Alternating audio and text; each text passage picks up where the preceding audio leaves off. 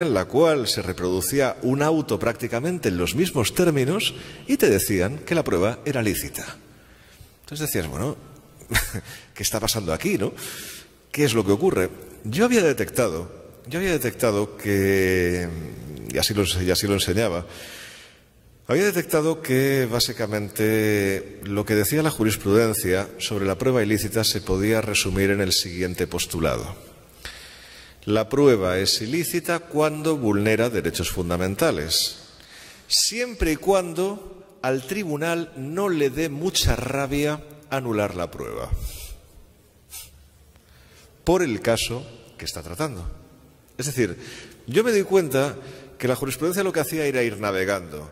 Y cuando encontraba alguno de aquellos casos que da rabia absolver al reo, entonces pasaban por encima de la prueba ilícita, la sobrevolaban y bueno, que si no hay conexión de antijuricidad, que es una expresión muy original que se inventó el Tribunal Constitucional Español y que no significa absolutamente nada, eh, bueno, pues sí, lo sobrevolaban y decían que no, que sí, tal, ¿no?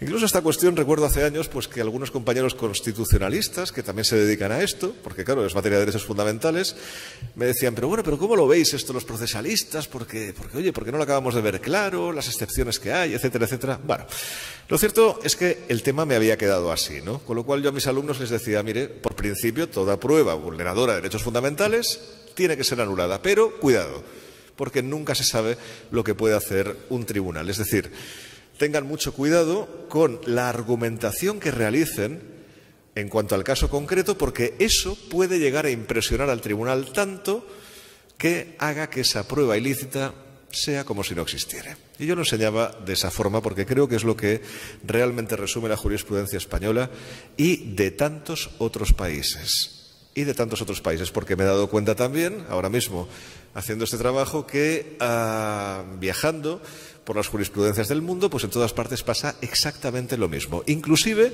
en el lugar de donde nació todo esto, que fue en Estados Unidos. Ahí probablemente es donde más pasa, como vamos a ver a, a continuación. Bueno, lo cierto es que no le había prestado mucha atención a este tema, más allá de lo que les estoy diciendo, hasta que, hasta que, bueno, hasta que un día pues hice una, una conferencia en el máster de Derecho Probatorio de la Universidad de, Girona, de, mi país, el que dirige Jordi, Jordi Farré. Eh, y bueno, y allí pues me pidieron que hablara, entre otros temas, los alumnos me lo pidieron, ¿no? doctor, usted tiene unos temas encargados y tal, pero yo se lo había dicho al principio, ¿eh? que, podía hablar de lo que, de lo que ellos me dijeran, que era mejor así, además, para que tuvieran más atención. ¿Podría usted hablar de, de prueba ilícita y tal? ¿no? Digo, bueno, pues vamos a hablar de prueba ilícita. Bueno, yo la verdad es que ese día hice un ejercicio que no, que no he hecho en mi vida y que no voy a volver a hacer, eh, que es dar una conferencia de más de una hora sin preparación. Se lo puedo asegurar. No había preparado nada. Me lancé a la piscina a las nueve de la mañana, dije, me han, me han dicho que tengo que hablar de esto, pues me lanzo, ¿no? Y en un principio yo lo que pensaba era decir lo que digo en clase, más o menos, ¿no? Que es lo que haces en estos casos, ¿no? Tiras un poco de lo que de la docencia ordinaria y dices, bueno, voy haciendo, pero Mientras iba diciendo mis palabras, fueron surgiendo ideas en mí de otros temas que había leído a lo largo del tiempo. Temas que tenían mucho que ver sobre todo con la policía ¿no? y con la historia de la policía. Y a partir de ahí pues fui juntando unas ideas con otras y finalmente pues quedó una conferencia que me sorprendió tanto que, bueno que pedí que por favor me la si alguien la había grabado que me la pasara porque porque yo mismo quería reflexionar otra vez sobre mis propias palabras y así lo hicieron me volví a escuchar y bueno finalmente pues decidí documentarme mejor mm, y bueno, y ante mi sorpresa, pues confirmé en buena medida las ideas que les voy a decir aquí. Les, les he contado este origen para que vean que, que esto, en realidad, tiene un trasfondo bastante desconocido que yo les voy a transmitir en el día de hoy. Miren, para saber por qué existe la prueba ilícita, eh, es muy necesario, como en tantas otras ocasiones, acudir a su historia. Pero cuidado, no es una historia jurídica la que les voy a contar en esta ocasión. Yo normalmente cuando hablo en las conferencias pues hablo de la historia de un instituto, pero, pero la aproximación que suelo hacer es jurídica en todo caso, ¿no? De cómo estaba regulada aquí y allá, ¿no? La de hoy no. La de hoy es una aproximación más bien sociológica de la historia de Estados Unidos en el siglo XIX, que ahí es donde tenemos que centrar el origen de la teoría o de la doctrina de la prueba ilícita. Vamos a ver, ¿qué pasó en Estados Unidos a finales del siglo XIX? Pues bueno, ustedes saben que tuvieron una, guerra, la guerra, la guerra civil estadounidense, la guerra de, secesión también llamada, entre el norte y el sur. Y bueno, esa guerra básicamente destrozó el país, eh, como ocurre con las guerras. Y bueno, y luego lo que ocurrió después de esa guerra es que se reactivó el comercio. Y entonces Estados Unidos necesitó pues una, un ingente contingente de mano de obra barata. Ahora mismo la mano de obra barata en Europa pues proviene normalmente de África y de Asia eh, y también en parte de América Latina, aunque en los últimos años menos, mucho menos, después de la crisis del, del 2007-2008. Bueno, en aquel entonces el camino era el contrario. En aquel momento era la gente de Europa la que venía a América, la que emigraba a América a, a encontrar un trabajo, ¿no? Cual, sea cual fuera, ¿no? Porque en Europa pues se vivía bastante mal. Bueno, en Estados Unidos el primer contingente de población que vino, más numeroso, fue de, Irlanda. Había unas hambrunas tremendas en aquel país y entonces aterrizaron muchísimos irlandeses en, Estados Unidos. Y luego fueron viniendo pues de otras nacionalidades, o sea, fueron viniendo los italianos, sobre todo los italianos del sur, después de la unificación de Italia, que fue un desastre absoluto para el sur de Italia. Y de otros países también, vinieron alemanes, nórdicos, etcétera, ¿no? Y muchos españoles aquí en América Latina. Pero ahora nos limitamos a, Estados Unidos. Bueno, ¿qué ocurre con la mano de obra inmigrante? La mano de obra inmigrante es normalmente una, una mano de obra muy barata. ¿Por qué? Porque está absolutamente desesperada. Con lo cual, ¿qué ocurrió? Que esa inmigración en Estados Unidos creó una serie de población desempleada muchas veces, y cuando estaba empleada que cobraba unos sueldos verdaderamente miserables. Y eso pues generó una bolsa de pobreza tremenda en Estados Unidos, que por cierto todavía existe en buena medida. ¿eh? Bueno, eso estuvo ahí. Pero en aquel momento pues era todavía más grande. Bueno, ¿qué ocurría con esta mano de obra? Pues claro que esta mano de obra no vivía bien. Estaban sometidos a unas condiciones en las fábricas pues que eran verdaderamente insoportables exactamente igual que en Europa. Y bueno, y entonces lo que eso suele generar son movimientos sociales de esa gente que está viviendo en la miseria para mejorar su condición. Eso en el siglo XIX, todos ustedes lo saben, en Europa generó el socialismo, el comunismo y el marxismo, nada menos, ¿no? Pero en Estados Unidos pues no estaban dispuestos a que esas ideas pues cuajaran dentro del país. Y por ello, crearon una institución cuyo origen estoy seguro que a la enorme mayoría de la sala les es desconocido, pero que es justamente el que les voy a decir ahora. Crearon ni más ni menos que la institución de la policía. Primero en las ciudades más industriales y luego lo fueron extendiendo al resto del país. Es decir, si ustedes están pensando que lo que estoy diciendo es que la policía nació para controlar a la mano de obra trabajadora, están justamente en lo cierto. Nació con ese cometido. Lógicamente se vendió de otra forma. ¿Cómo se vendió? Se dijo, bueno, a ver, eh, hay muchos robos, hay mucha inseguridad, esta gente bebe mucho, se droga, se está peleando constantemente, etcétera, etcétera. Oye, no podemos soportar los americanos de bien, no podemos soportar esta situación de inseguridad ciudadana y por tanto tenemos que hacer algo para luchar contra esta situación. Y bueno, pues para con la excusa de estos actos, por cierto, muy frecuentes cuando hay miseria, me estoy refiriendo a los hurtos, la gente que no tiene que comer pues roba, es que es, que es así, o sea, no, no, no, no hay más tiene que alimentar a sus hijos, piensen todos los que tienen hijos lo que hacen por ellos, ¿verdad? Eh, bueno, y tienen situaciones pues dramáticas, ¿no? Familias desestructuradas, mm, falta de visión de futuro, etcétera, y todo eso pues genera estas acciones criminales, ¿no? Estas acciones violentas. Bueno, pues no se trató tanto de controlar estos hechos, sino de tomar estos hechos, estos pequeños hechos delictivos como excusa para controlar a los trabajadores, sobre todo para que no hicieran huelgas, para que no se manifestaran, etcétera, etcétera. Es decir, para que no generaran algo como lo que después en Europa llevó nada más y nada menos que a la creación de la Unión Soviética. Estamos hablando de algo tremendo, ¿eh? Tremendo. Y podía haber ocurrido en Estados Unidos. Se daban todas las condiciones para que eso fuera así, pero allí, como les estoy diciendo, pues lo, evitaron.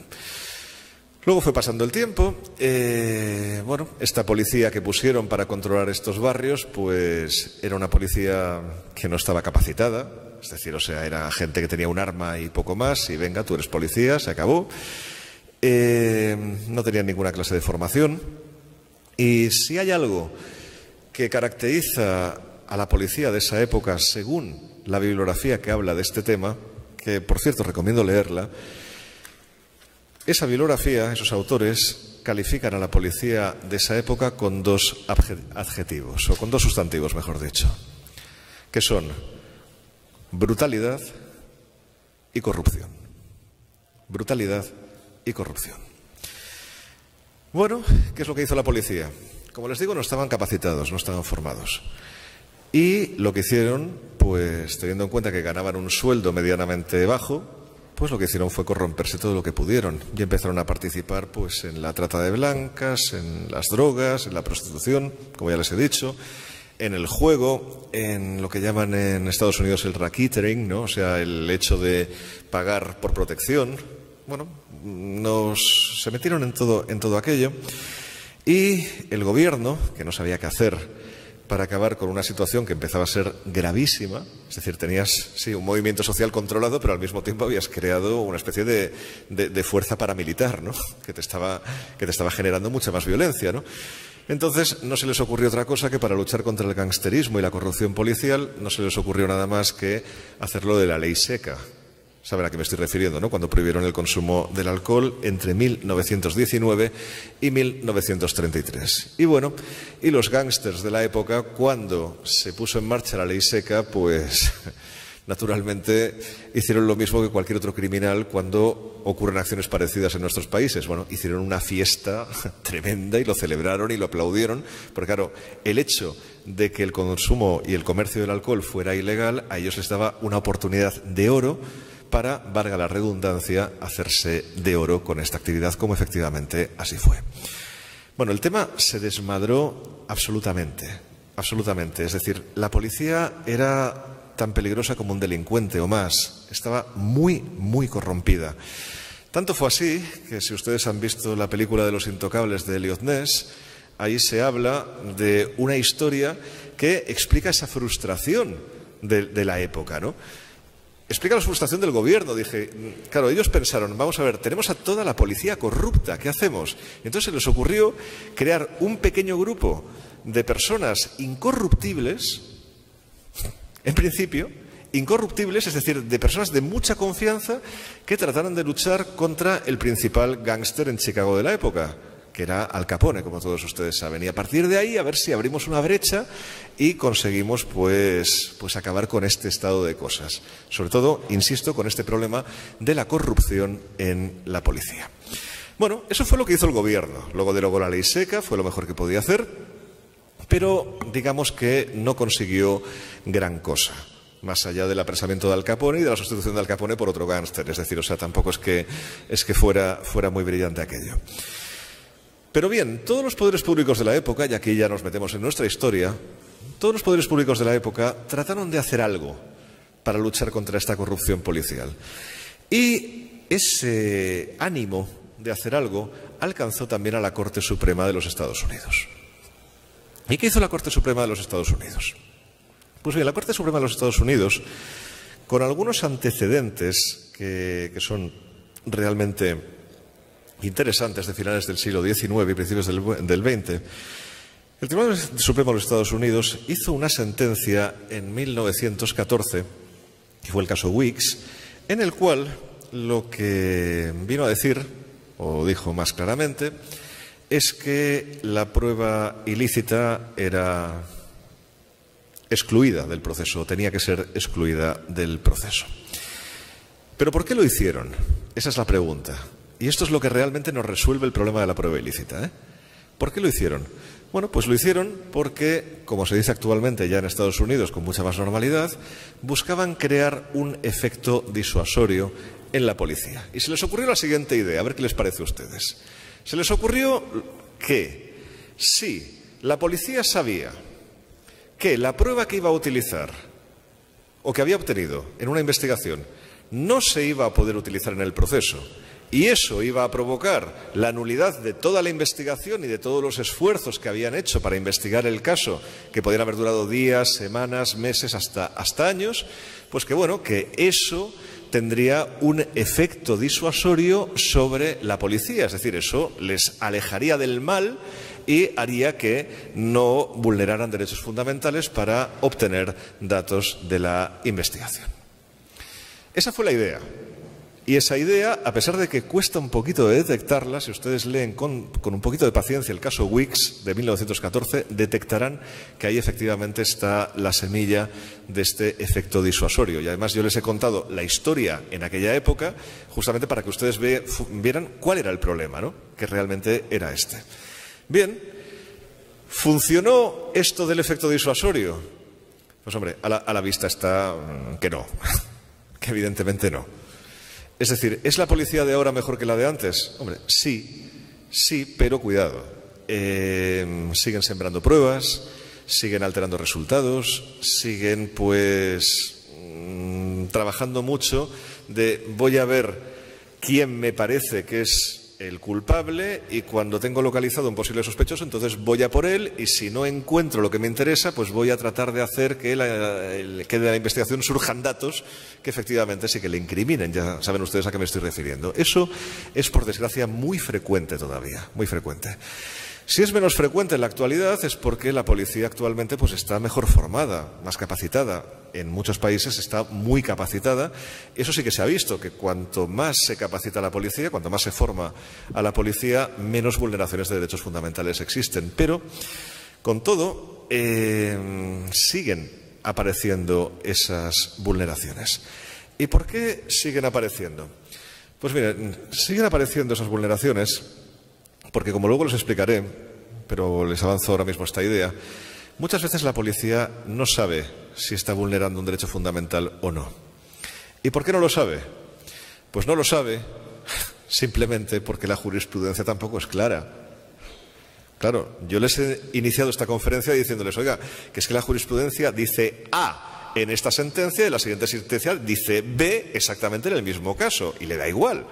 Entonces, claro, si a un jurista nos cuesta entender ese contraste de pareceres, imagínese un policía.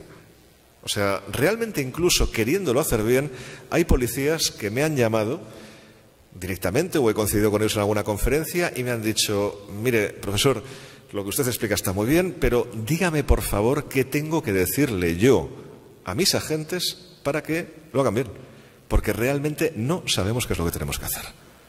No sabemos qué es lo que va a ocurrir después. Bueno, eso se lo explicaré, se lo explicaré después. Sigamos con Estados Unidos, porque es interesante. En Estados Unidos les pasa exactamente esto mismo, ¿no? Buscan esta regla de exclusión, excluyen la prueba ilícita, por la razón que les acabo de decir, porque es vulneradora de derechos fundamentales, sí, pero intentando buscar ese efecto disuasorio. Claro, esto, además de no funcionar para que la policía sea menos corrupta, a pesar de además de no servir para nada, tiene un problema adicional, pero muy grande además, que puede acabar, como efectivamente así ha sido el caso, legitimando muchas actuaciones policiales indebidas. Fíjense la línea de pensamiento. La línea de pensamiento es que cuando la policía trabaja mal, hay que anular la prueba. ¿Estamos en lo cierto? Cuando la policía vulnera un derecho fundamental, hay que anular la prueba. Sí. Pero claro, lo que queremos es buscar un efecto disuasorio, es decir, queremos combatir la mala fe policial. Y entonces, si ese es el fundamento, ¿qué ocurre? Y este punto es fundamental. ¿Qué ocurre si la policía vulnera el derecho fundamental, pero lo ha hecho de buena fe? Claro, si lo que queremos es buscar el efecto disuasorio, si la policía ha obrado de buena fe, ah, pues aquí el efecto disuasorio no tendría mucho sentido, con lo cual podríamos decir, bueno, cuando la policía trabaja de buena fe, pues entonces, podemos dar la prueba por válida. Y a ustedes les puede parecer que esto es una barbaridad, a mí también me lo parece, lógicamente. pero en cambio es jurisprudencia vigente en los Estados Unidos de América. Efectivamente, cuando la policía trabaja de buena fe, la prueba no se excluye. ¿Por qué? Porque no se produce ese efecto disuasorio, es decir, no hay posibilidad de que se produzca ese efecto disuasorio. Y esto es terrible. Y esto es terrible. Porque claro, yo recuerdo la primera vez que les conté esto a un grupo de policías a los que les di clase, esto recuerdo hace unos tres, cuatro años aproximadamente, que cuando les hablé de la buena fe, bueno, se pusieron todos a reír diciendo, ah, bueno, pues a partir de ahora todos estamos de buena fe, todos trabajamos de buena fe todo lo que hagamos pues ya está bien, ¿no? O sea, no hay ningún problema. Y efectivamente ese es el riesgo. Tengo que decir una cosa. Esta excepción de la buena fe existe en Estados Unidos, sobre todo desde los años 70, desde el 79, desde el caso Michigan contra De Filippo, pero, ah, pero cuidado, porque no es tan amplia. ¿eh? O sea, vamos a ver, en Estados Unidos se legitima la buena fe policial cuando ha venido precedida de una actuación judicial errónea, por ejemplo, ¿no? O sea, cuando la autorización judicial ya era errónea, ¿no? O sea, era demasiado amplia, por ejemplo. Entonces, claro, la policía actúa bajo cobertura judicial de buena fe y, claro, luego si esa cobertura judicial pues es inválida, bueno, pues la policía no tiene la culpa, ¿no? En fin, ¿no? O cuando una jurisprudencia que autorizaba una investigación, pues bueno, pues luego es revocada. Claro, la policía actúa siguiendo la jurisprudencia antigua. Bueno, pues hay buena fe, ¿no? Es decir, son casos como este, pero el riesgo tremendo del que advierte mi queridísimo amigo y, e ilustrísimo colega Manuel Miranda Strampes, el resto, el, el, riesgo es que esto se amplíe muchísimo, como efectivamente se está observando en la actual jurisprudencia de Estados Unidos, que efectivamente se amplía. Se amplía. Es decir, esto de la buena fe amenaza con cubrirlo absolutamente todo. Pero no es la única excepción no es la única excepción a eh, la prueba ilícita en el proceso. Hay un segundo grupo de jurisprudencia en materia de prueba ilícita, que es la que más resonancia ha tenido en España, por lo menos, que es esa jurisprudencia que excluye los frutos del árbol envenenado, de la cual ustedes habrán oído hablar. Es un nombre un tanto estúpido, esto de la doctrina de los frutos del árbol envenenado. A mí me recuerda un poco a una canción de los Beatles, ¿no? O sea, una, especie de Lucy in the Sky with Diamonds, ¿no? O sea, pues algo parecido a esto. Pero, pero, pero bueno, pero ¿qué es lo que dice esta jurisprudencia? Bueno, si en el caso Wicks, el de 1914, se dijo se excluye la prueba que se haya obtenido vulnerando derechos fundamentales, en el caso Silverthorne Lambert de de 1920, lo que se dice es que se va a excluir no solamente la prueba generadora, la prueba que se obtuvo vulnerando derechos fundamentales, sino también toda prueba que se haya obtenido a partir de esa prueba ilícita. Es decir, se sanciona no únicamente la prueba inicial, sino también las pruebas secundarias. Les pongo el ejemplo para que lo entiendan. ¿no? Policía tortura a detenido. Eh, detenido declara. Bueno, evidentemente toda esa declaración es nula, por supuesto. Pero claro, a partir de esa declaración el detenido da datos que, oye, se van investigando. Sí, mira, tenemos esto aquí en este domicilio, esto en este otro sitio, participó conmigo este, este, este, el otro. Bueno, pues para conseguir que el efecto disuasorio sea completo, en 1920 dijo eh, la Corte Suprema de los Estados Unidos que esa prueba derivada también era ilícita pese a haber sido obtenida con medios legales, porque sí, efectivamente, la entrada, pues seguro que ha sido autorizada por el juez, la, en fin, las, las, detenciones ulteriores también, etcétera. Pero dijo el Tribunal de los Estados Unidos, no, no, porque lo que queremos es producir ese efecto disuasorio. Entonces, claro, es muy fácil hacer una prueba ilícita, vale, sí que eso no valga, pero después tratar de puentear esa prueba ilícita a través de actos que posteriormente sean lícitos. Bien, esa fue la idea de esta sentencia Silverthorne-Lambert. Pero ya desde esta primera sentencia se detectó que los magistrados tenían dudas, porque de hecho esta sentencia no gustó en la práctica. No gustó. No gustó al estamento policial, más concretamente, pero tampoco gustó a muchos ciudadanos, ¿no? Porque a partir de ahí la ciudadanía, ingenua tantas veces, pues piensa, bueno, ¿y qué va a pasar? Los criminales nos van a ganar la guerra, aquí no vamos a poder ir contra nadie. Luego viene el cine, que también, que tampoco ayuda en esto, ¿no? O sea, por ejemplo, las películas de Clint Eastwood, de Harry el Sucio, por mucho que las hemos visto todos y a lo mejor hasta hemos disfrutado con ellas, pues son terribles para entender todo este tema, ¿no? Porque claro, porque ahí pues resulta que hay un policía fundamentalmente corrupto, como Harry Callahan, terriblemente corrupto, hace lo que le da la gana y oye, y siempre acierta matando a los malos, porque además es lo que hace matar malos. O sea, ni siquiera hace investigaciones aquello, no. Y, y, la película acaba con que el bueno es ese policía corrupto y el malo es el juez que le anula las pruebas. Claro, esa conclusión de cara a la ciudadanía es terrible, terrible, ¿no? Porque afianza ese sentimiento de, de indefensión un poco, un poco injustificado. Bueno. Lo cierto es que ni al propio Tribunal Supremo le acabó de convencer su doctrina y por ello, años más tarde, fue generando excepciones a esta doctrina de la exclusión de esos frutos del árbol envenenado, de esa prueba derivada de una prueba ilícita, pese a que esa prueba derivada fuera lícita, ¿eh? insisto. Y bien, y las tres excepciones que contempla la jurisprudencia de los Estados Unidos son la excepción de la fuente independiente, la excepción del nexo causal atenuado, la que se ha llamado en España la de la conexión de antijuricidad, y luego, por último, em, la excepción del descubrimiento inevitable, las tres. Fuente independiente, nexo causal atenuado y descubrimiento inevitable. Les las explico un poco, para que ustedes mismos razonen si tiene algún sentido estas excepciones o no. La de la fuente independiente. Les, les hablo del caso en el que se produjo. Una víctima denuncia a una, a una persona como acusada, ¿no? o sea, como responsable de un delito de robo y tentativa de agresión sexual.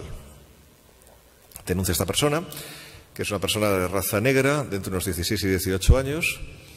Mm, bueno, no sé cuántas personas de estas características puede haber en Estados Unidos.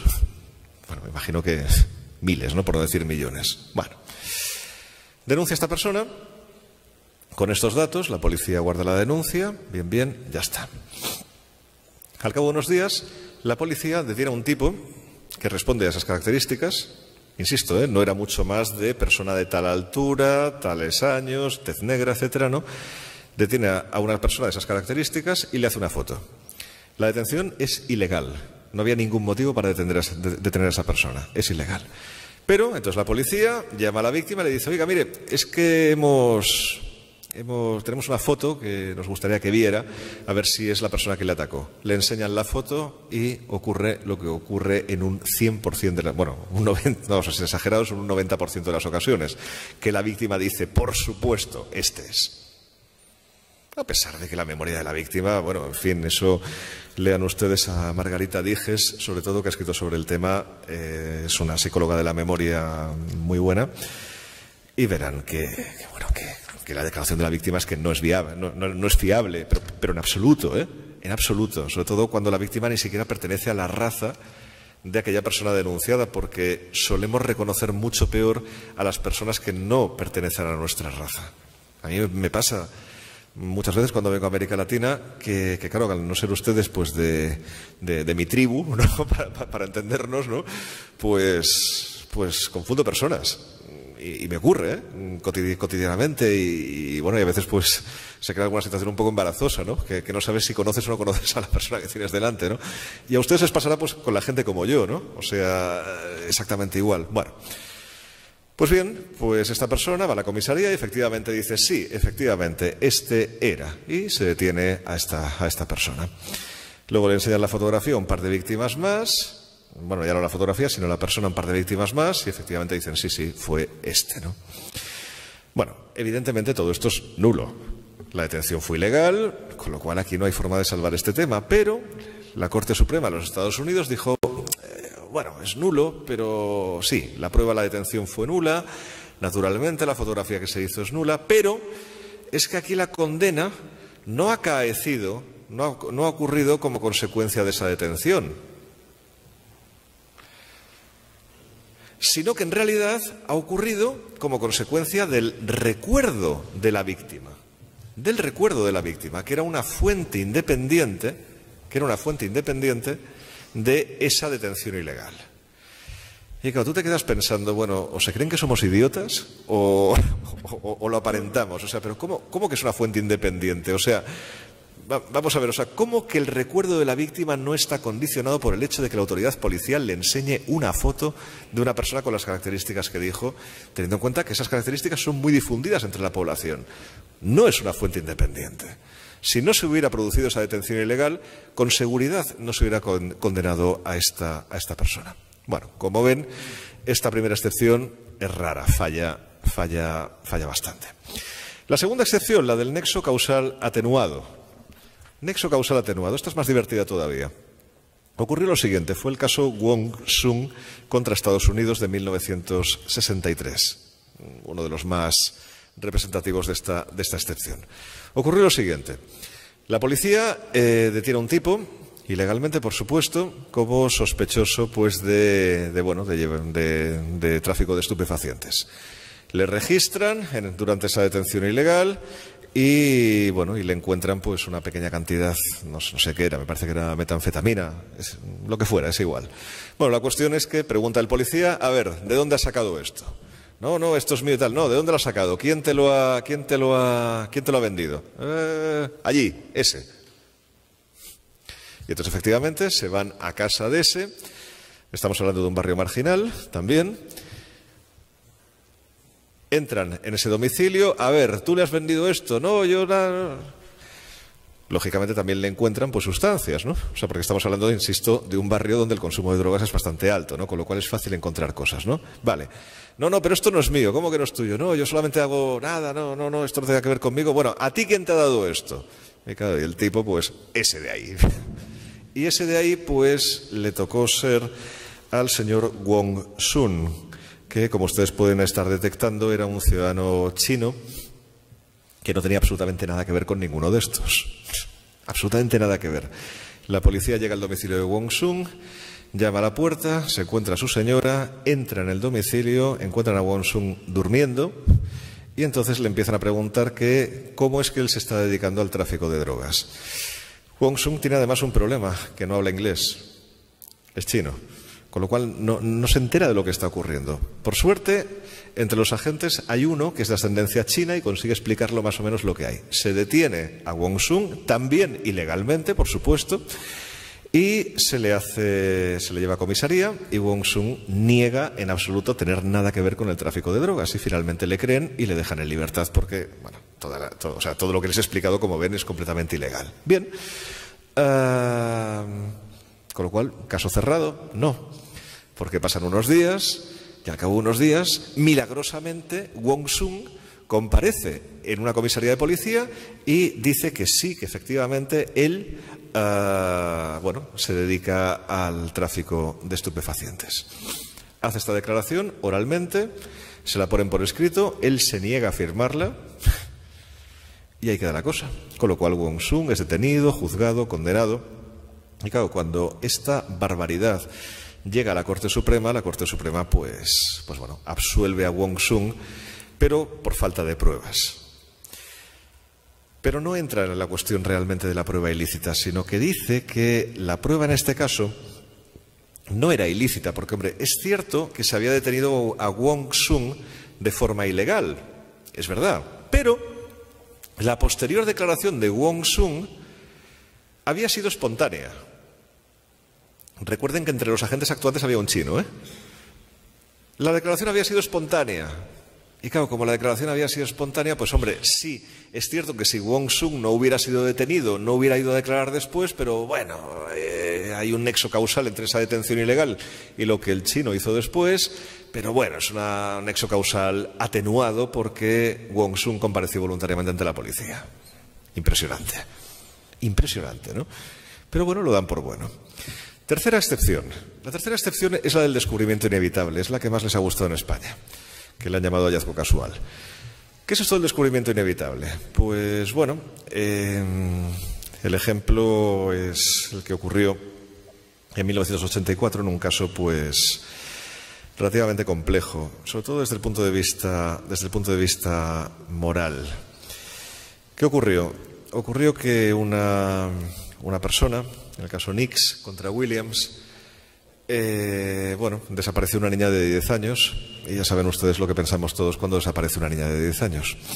Y efectivamente es lo que, es lo que ocurrió. La policía detiene a un posible sospechoso, que es, que es Nix, y entonces, bueno, pues empiezan a buscar el cadáver en un perímetro, ¿no? En una zona delimitada, que es donde suponen que van a, que van a, que van a encontrarlo, ¿no? Porque han encontrado otras evidencias y tal, ¿no? Y entonces, bueno, pues el cadáver no, no, no acaba de aparecer, y entonces la policía, mientras está con Nix, con el detenido, pues le dice, mira, eh, no lo hagas más complicado. No lo hagas más complicado, sabemos que has sido tú, eh, nos puedes ayudar con esto, esto te va a beneficiar, dinos dónde está el cadáver y así acabamos todo esto. Y ya pues nos vamos todos para casa, los padres pueden enterrar a su hija, etcétera, etcétera. Es decir, no le no, es que le torturaran ni mucho menos, pero le presionan, le presionan para que para que declare. Y efectivamente, pues Nix declara, la, niña está ahí y efectivamente ahí la encuentran. Claro, lógicamente la prueba es ilícita. Esta declaración de Nix se hace sin lectura previa de derechos, sin abogado, etcétera, ¿no? Con lo cual es completamente ilegítimo todo lo que, lo, que surgía de ahí. Pero claro, ¿cuál es el problema? Lo que les decía antes, que que da un poco de rabia ignorar un delito tan grave como ese, ¿no? Y entonces, ¿qué es lo que hace el Tribunal Supremo? Pues dice, bueno, vamos a ver. Reconstruyamos la historia. Eh, la policía ya estaba buscando el cadáver en un perímetro y ese perímetro coincidía con el lugar donde apareció la niña muerta. Con lo cual, aunque no se hubiera producido esta presión policial sobre Nix, el cadáver hubiera aparecido inevitablemente porque la policía ya lo estaba buscando en esa misma zona. Y sí, efectivamente, cuando lo lees en la sentencia, todo eso te parece muy razonable hasta que te das cuenta de cuánto grande, de cómo de grande era el perímetro.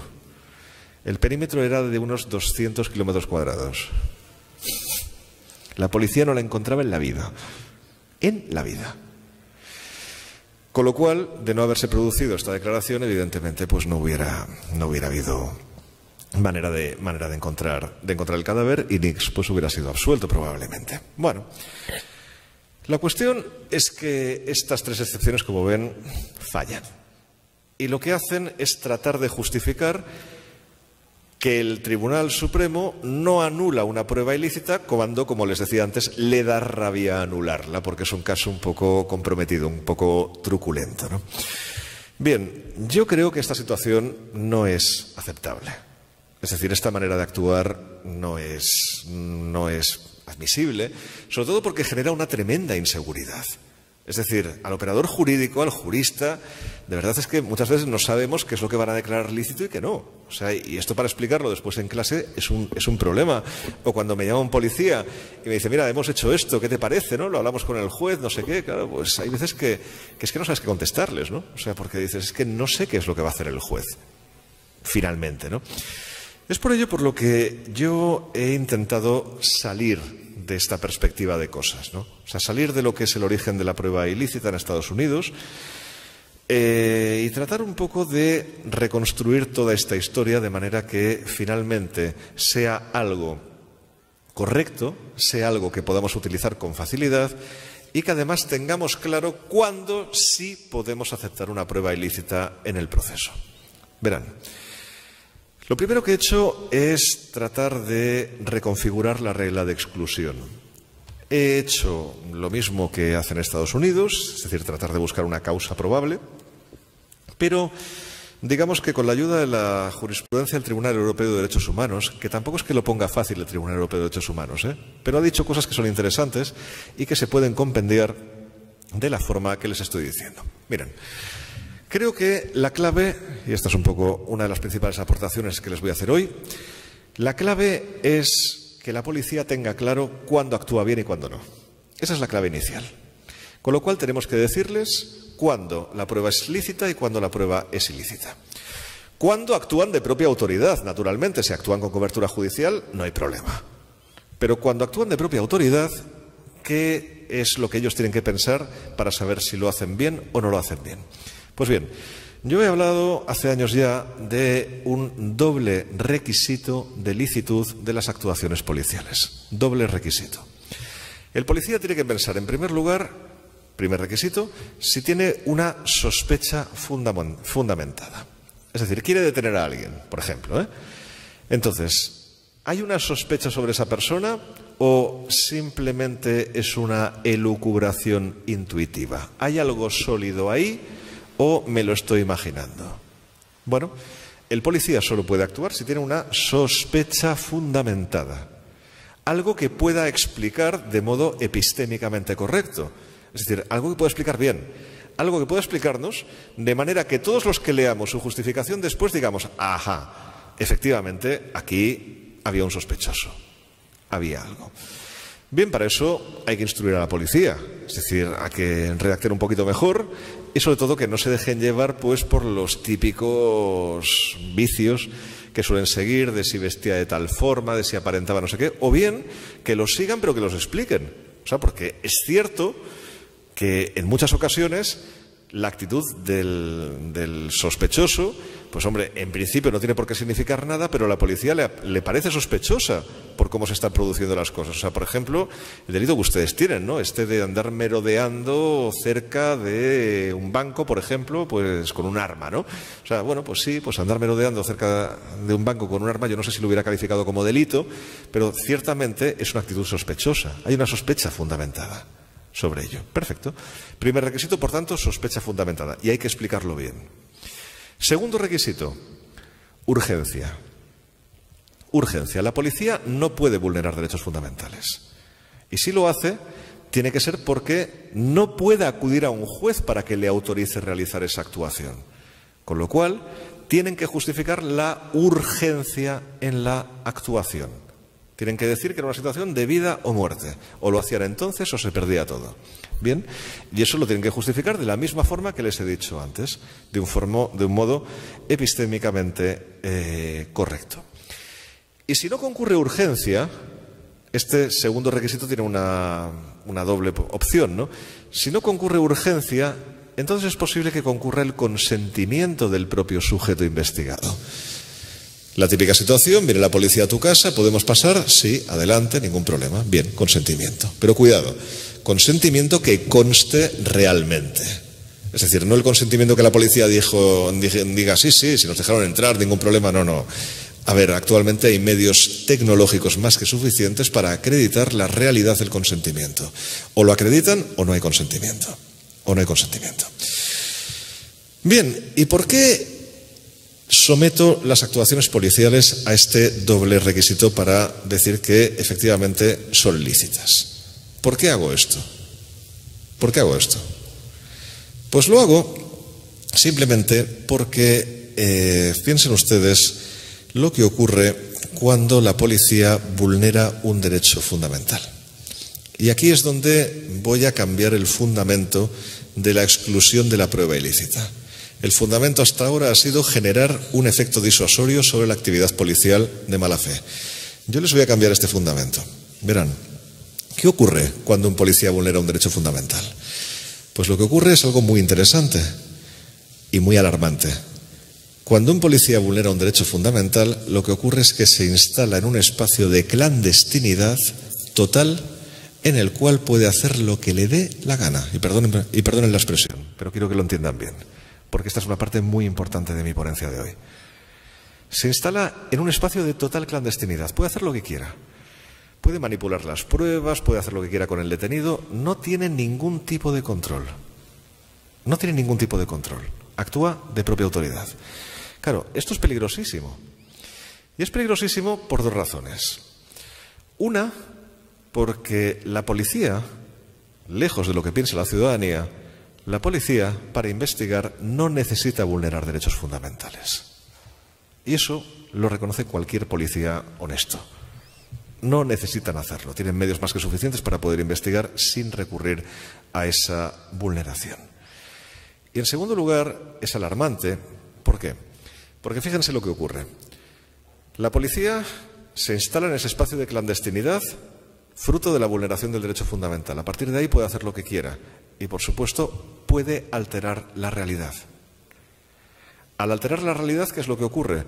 Que se está viciando totalmente el fin principal del proceso, que es esa averiguación de la realidad, o uno de los fines principales, que es esa averiguación de la realidad. De manera que cuando se produce esa vulneración del derecho fundamental, lo que ocurre es que se ha podido manipular la realidad de una forma irremediable, irremediable, de manera que llegamos al final del proceso y tenemos una historia ficticia. Y que además no hay forma de combatir. No hay forma de combatir porque todo el mundo, pese a cómo sabemos que trabaja muchas veces la policía, todo el mundo tiene una fe absoluta en la actuación de la policía. Cuando la policía detiene a alguien, ese es el culpable. Nadie lo duda. Y claro, librarte de una acusación falsa es muy complicado. O sea, claro, la policía te detiene, te siembra cocaína en tu maleta, donde sea. Claro, a partir de ahí demuestra que no era tuya. Es que no hay forma. No hay forma humana. La única forma que tienes es denunciando la vulneración del derecho fundamental. Si te quitan eso, no puedes hacer nada, no te puedes defender.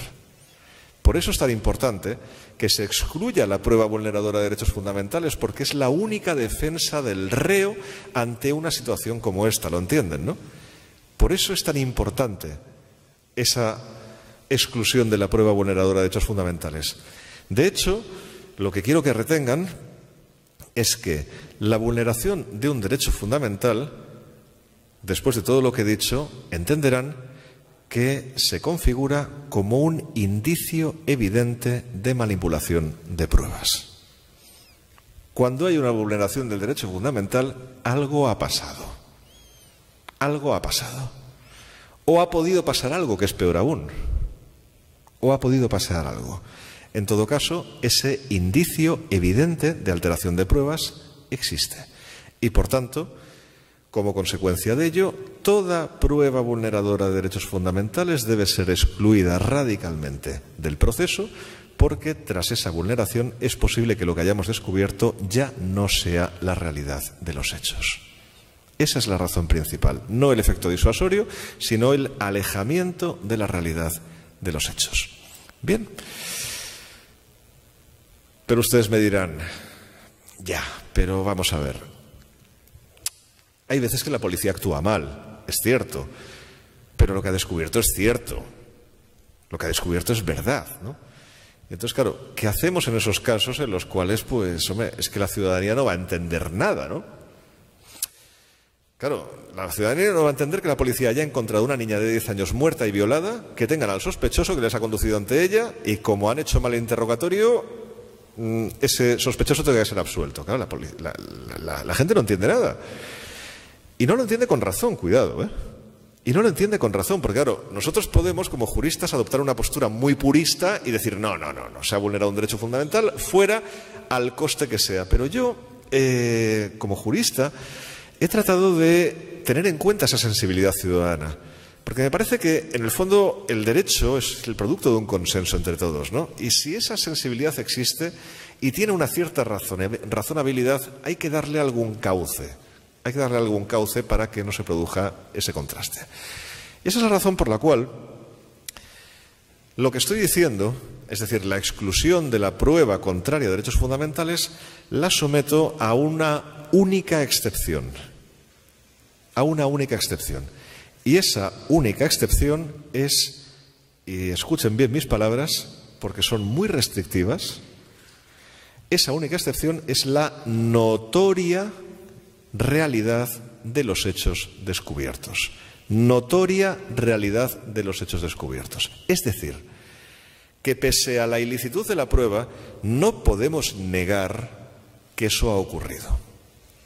Es decir, cuando se dé una situación de notoria presencia de derecho delictivo. Es decir, que no podamos tener ni el más mínimo resquicio de duda sobre que la prueba es válida, es correcta, es decir, es, mm, es auténtica más que correcta, es auténtica. Por ejemplo, policía entra sin autorización judicial en un domicilio por sospecha de tráfico de estupefacientes. Entran en el domicilio, pegan la patada en la puerta, por tanto una entrada ilegal, claramente, y encuentran 3.000 kilos de cocaína. Claro, vamos a ver. La policía puede sembrar pruebas, pero, pero no puede entrar ahí 3.000, 3 toneladas, de, 3 toneladas de cocaína. Claro, por mucho que la entrada sea ilegal, eso hay que condenarlo. Ahí se produce la excepción. ¿Lo ven? Notoria realidad de los hechos descubiertos. ¿eh? Notoria. ¿eh? Es algo muy restrictivo, insisto. ¿eh? O, por ejemplo, en el caso Nix, en el caso de la niña. Que ustedes pueden decir, hombre, esa declaración está mal hecha, por tanto tendría que ser absuelto el condenado. No, miren, no. Vamos a ver. Estaban buscando a la niña muerta en un perímetro de 200 kilómetros cuadrados. Vamos a ser honestos. Nadie que no fuera el autor de los hechos podía saber dónde estaba la niña. Por tanto, si lo sabías, que era el autor de los hechos. Bueno, no neguemos la realidad, no neguemos lo que tenemos delante de los ojos.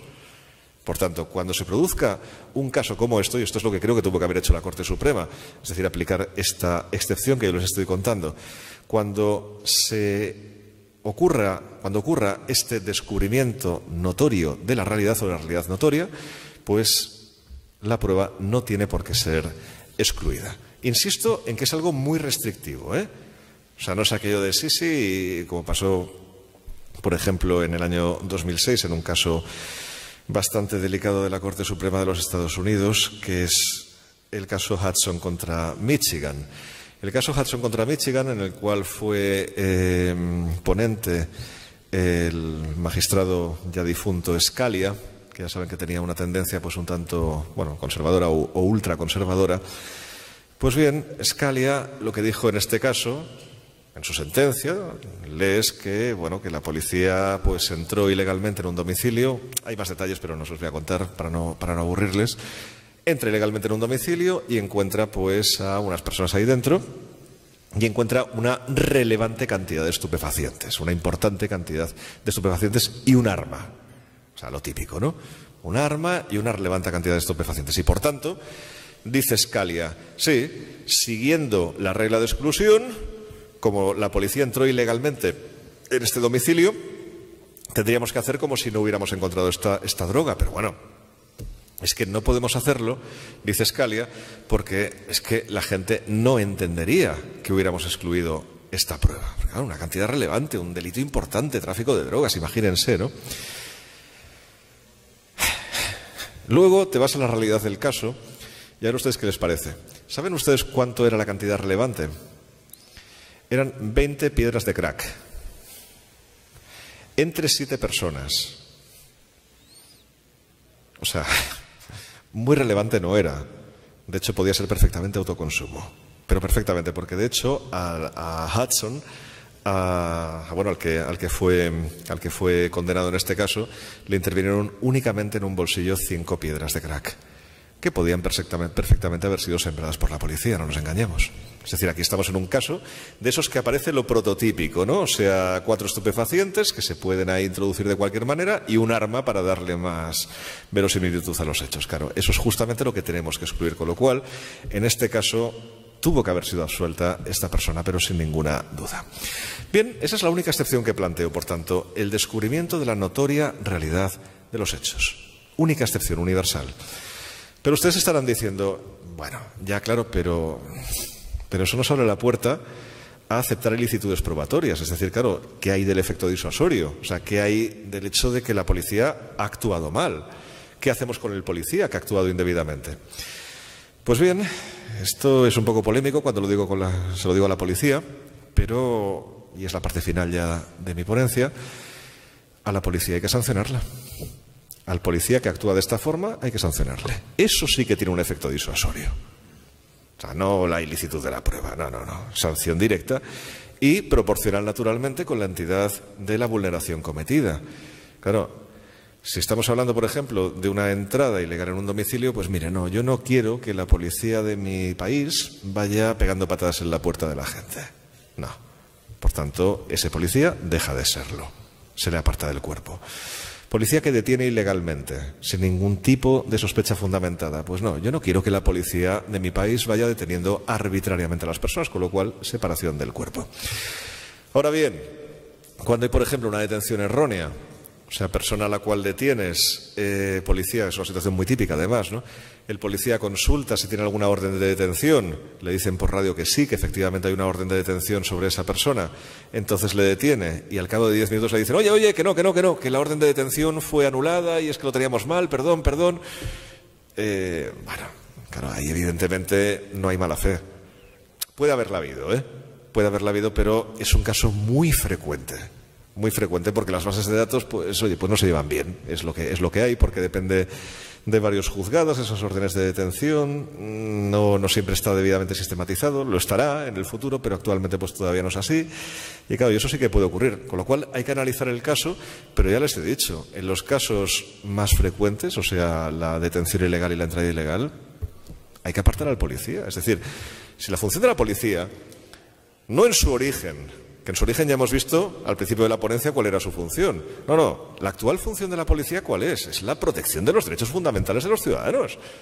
Es que tiene que ser esa su función. No otra. Y a partir de ahí, pues tiene que desplegar sus actuaciones y la policía, por cierto, tiene que entender que no tiene un papel protagónico en el proceso penal que no es el sujeto principal del proceso penal. No, no. La policía es un órgano de colaboración de jueces y Ministerio Público, que son los que sí que tienen el protagonismo y no la policía. Eso es muy importante, sobre todo para evitar estas ruedas de prensa que se hacen en muchos países del jefe de policía a estilo de Estados Unidos que dice que sí, que han detenido a tal persona y le han encontrado esto y tal. Después de eso, pues la presunción de inocencia, ¿dónde queda? Imagínense, ¿no? No, no, la policía tiene que entender que es un órgano meramente colaborador y que no puede asumir ese protagonismo. Por tanto, insisto, el sistema se cierra de esta forma con la sanción del policía, con lo cual lo repito muy, muy brevemente para que les quede claro. ¿Cómo actúa un policía legalmente? Con el doble requisito, sospecha fundamentada y urgencia o bien consentimiento del sujeto pasivo. Si actúa así no tiene nada que temer, la prueba es eh, lícita. Cuando no ha actuado así, ¿cuándo nos podemos saltar esto? ¿Cuándo podemos excepcionar esta ilicitud de la prueba? Pues únicamente cuando hayamos descubierto la notoria realidad de los hechos. Insisto en el adjetivo de notoria, ¿eh? o sea, tiene que ser innegable innegable. Si no, no estamos en el caso. Y bien, y cuando eso se haya producido, pues si hay un policía actuante que ha obrado mal, habrá que sancionarlo. Y con ello, pues se cierra el sistema. Bien, muchas gracias por su atención. Muchas Bien, excelente. Son 57 minutos que ha expuesto el profesor Jordi Nieva Fenol, vamos a darle luz a la palabra a Alonso Peña Cabrera, que ya ellos se han puesto de acuerdo en el orden como va a ser el panel, 15 minutos cada uno. Al final también vamos a abrir un espacio de preguntas para ustedes y también para los amigos que están en el interior del país. Doctor Alonso Peña, donde usted desea, arriba o acá, donde desea usted. Doctor Alonso Peña, ¿quiere hablar de la mesa o de, no sé, donde le sea más cómodo? Antes de la intervención del doctor Alonso Peña Cabrera, agradeceremos a las cortes que se encuentran conectados a través de videoconferencia puedan apagar sus micrófonos para que no haya interferencia de sonido. En estos momentos damos pase al doctor Alonso Peña Cabrera. Eh, buenos días con todos, doctor José Antonio Negra Flores, eh, juez supremo de la Corte Suprema, el doctor Jordi Negafenol, eh, gran catedrático español, a quien nos honra tener acá en el Perú con usted y poder compartir algunas experiencias o conocimientos que nosotros podemos tener respecto y otros dignos representantes que se encuentran en la mesa de honor. Eh, yo empiezo mi intervención señalando más fuerte, más alto. o mejor A ver, a, los señores del audio hay que modular mejor el volumen. Cuando el profesor Jordi hablaba tampoco se podía percibir bien, por favor, ¿ya? A ver, el profesor Peña Cabrera. Ahora sí. Muy alto. Eh. eh. bueno, nuevamente el agradecimiento al doctor José Antonio Negra Flores, a quien nos une una amistad de muchos años, quien fue también profesor de la Universidad la Alma Mater, a los otros bienos representantes de esta INA, a todos ustedes estar acá. Yo empiezo mi disertación señalando de que no se puede llegar a la verdad a cualquier precio en un proceso penal. Yo creo que eso es lo primero que tenemos que entenderlo. Tenemos que entender que estamos en un Estado democrático de derecho, donde tiene que darse una institucionalización probatoria, a los cuales me parece muy interesante lo que el doctor Yeda Fenola ha señalado, cuando se remitía finalmente un contexto histórico, y de hecho, pues el tema de la prueba prohibida y las exclusionary rules, que es las reglas de exclusión, dentro de una frondosa jurisprudencia norteamericana, también el Tribunal Supremo Federal alemán, el Tribunal también español, y lo que propiamente se está dando en nuestro país. ¿Esto qué es? Lo que significa que el proceso penal se dirige a la obtención de una verdad, a la averiguación de hechos en cuanto si se cometió un delito y si la persona del investigado es o no el responsable. El asunto es cómo yo llego a esa verdad. Hay varias verdades, como bien lo dice Hegel en la filosofía, para la prensa o la opinión pública, un solo hecho puede ser verdadero y falso a la vez. Pero, a ver, ya quiero, yo quiero generar una suerte de, de límite de valoración. Y la prueba judicial propiamente se rige estrictamente bajo determinados principios. La institucionalización, la regulación legal y de la forma como se incorpora la evidencia. De hecho, y como bien lo decía el doctor muy bien, puede encontrarse una circunstancia de que la policía toca la puerta, no sé si tal vez me estoy equivocando, la regla del knocking door, los norteamericanos, toca la puerta, entonces este, la policía, y el otro dice, ¿quién es? Vamos a encuestarlos, le dice, lo estoy imaginándome, ¿no? Ingresan a la casa y encuentran una gran cantidad de alijo de droga. Entonces, ante la prensa, ante la opinión, se encontró la droga. Y ese es finalmente, acá hay un hecho palpable, pero luego nos preguntamos, esa es la forma, el procedimiento, cómo se puede obtener la evidencia en un Estado constitucional de derecho. Lógicamente que es muy difícil dar una explicación ante hechos notorios donde encuentran evidencia de la comisión de un delito. Pero otra cuestión muy distinta, lo cual creo que el profesor nos ha dicho muy bien, es que nosotros en un Estado constitucional de derecho, lo cual es el Perú, tiene este modelo, tenemos que someternos a ciertas reglas, a ciertos procedimientos a ciertos estándares que si no los cumplimos, finalmente creo que estamos afectando ese contenido esencial de los derechos fundamentales. Dicho esto, entonces, creo que el tema de la prueba prohibida, las reglas de exclusión, no podemos apartarla de una cultura jurídica dentro de un determinado contexto. Obviamente el Perú ha ido avanzando bastante en los últimos años. Bueno, creo que nuestra constitución política es clara de que queda prohibida toda obtención o adquisición de una evidencia, yo prefiero hablar de evidencia en afectación del contenido esencial de derechos fundamentales. La Constitución peruana es clara, el artículo 159 del Código Procesal Penal también, si bien es cierto, rige una libertad probatoria, pero también se habla finalmente de la imposibilidad de, la, de utilización de evidencias obtenidas con afectación de derechos fundamentales. Dicho esto, entonces transitamos, creo que en nuestro país y a la par de en otros países, ante situaciones muy complejas, situaciones muy complejas ante hechos evidentes de graves actos de corrupción, de delitos muy graves, comprometen a altos funcionarios públicos, lo que lógicamente colocan a los operadores jurídicos en una situación bien difícil o tal vez este, un poco complicado al momento de valorarlo. Pero creo que en nuestro país está avanzando mucho en el sentido de institucionalizar el proceso probatorio en cuanto a la adquisición, en cuanto a la actuación y la valoración de la prueba. Esas son las tres fases. Primero tengo que preguntar cómo yo incorporo la evidencia.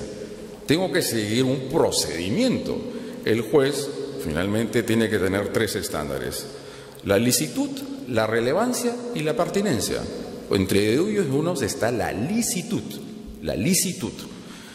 Luego, finalmente, hemos visto en casos particulares que se ha seguido el trámite de una audiencia de tutela de derechos. Nosotros tenemos en nuestro sistema procesal penal una audiencia de tutela de derechos en los cuales la defensa puede invocar esta audiencia ante el juez de garantías, que es el juez de investigación preparatoria, a efectos de centrar el debate y la discusión si esta evidencia puede o no ingresar y puede, lógicamente, ser actuada y valorada en su momento.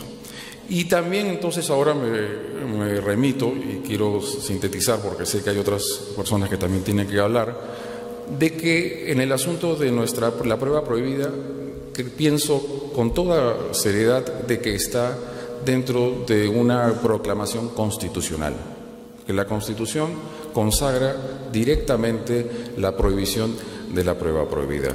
Que en la jurisprudencia norteamericana, lo que significaba el deterrence of public misconduct, que significa eh, los efectos disuasivos que finalmente hay que tener, que nosotros debemos pensar de que el tema de la exclusión probatoria debe finalmente neutralizar que la posibilidad de que sea valorada una evidencia que ha sido, ha sido obtenida con afectación de derechos fundamentales. Y la otra vía es la probable sanción que pueda recaer sobre el agente infractor. Hoy en día, obviamente, y la misma historia nos dice, nos da la razón de que la gran cantidad de pruebas prohibidas fueron, han sido producidas por la policía.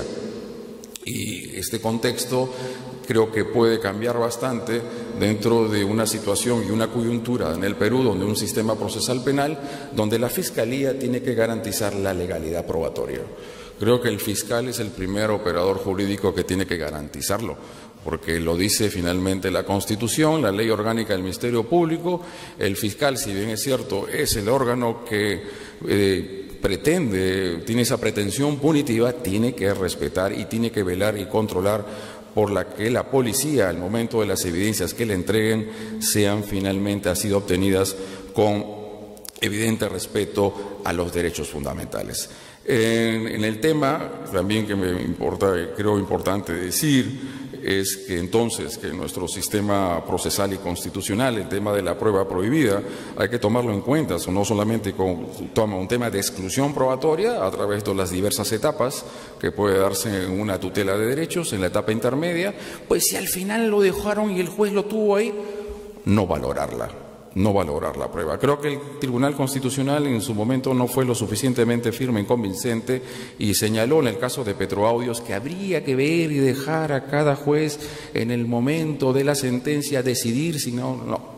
Creo que fue un poco tibio ahí, debió haber ido un poco más adelante y definir las situaciones de cómo tiene que ir lo que es las nulidades, las nulidades y las exclusiones que deben darse en determinadas etapas del proceso. En cuanto a las, reglas de exclusión propiamente, el doctor ha hablado finalmente cuando se habla de una notoria realidad de la situación, evidentemente nos, estamos ante una situación donde hay bastante inseguridad ciudadana, graves actos de corrupción, donde la ciudadanía y la sociedad reclama por más castigo y más sanciones y pues, obviamente eh, sobre todo el juez tiene una situación complicada y muy delicada. Lo que creemos es que las, las excepciones no se conviertan en las reglas. Ese es el grave riesgo de un Estado constitucional de derecho que a veces estos contextos y estas situaciones muy mediáticas lleven a los operadores jurídicos y lo arrastren a ello. Pero creo que en el Perú no está sucediendo ello. Y creo firmemente que el Código Procesal Penal no está, está si bien es cierto, recoge la, lo que es la prueba prohibida, soy de la convicción también de que esto no tiene por qué regularse normativamente en el Código Procesal Penal. Creo que tenemos una Corte Suprema lo suficientemente eh, habilitada y legitimada para de la misma jurisprudencia que el Código Procesal Penal regula, que puede darse, dar ciertas finalmente figuras de la excepcionalidad.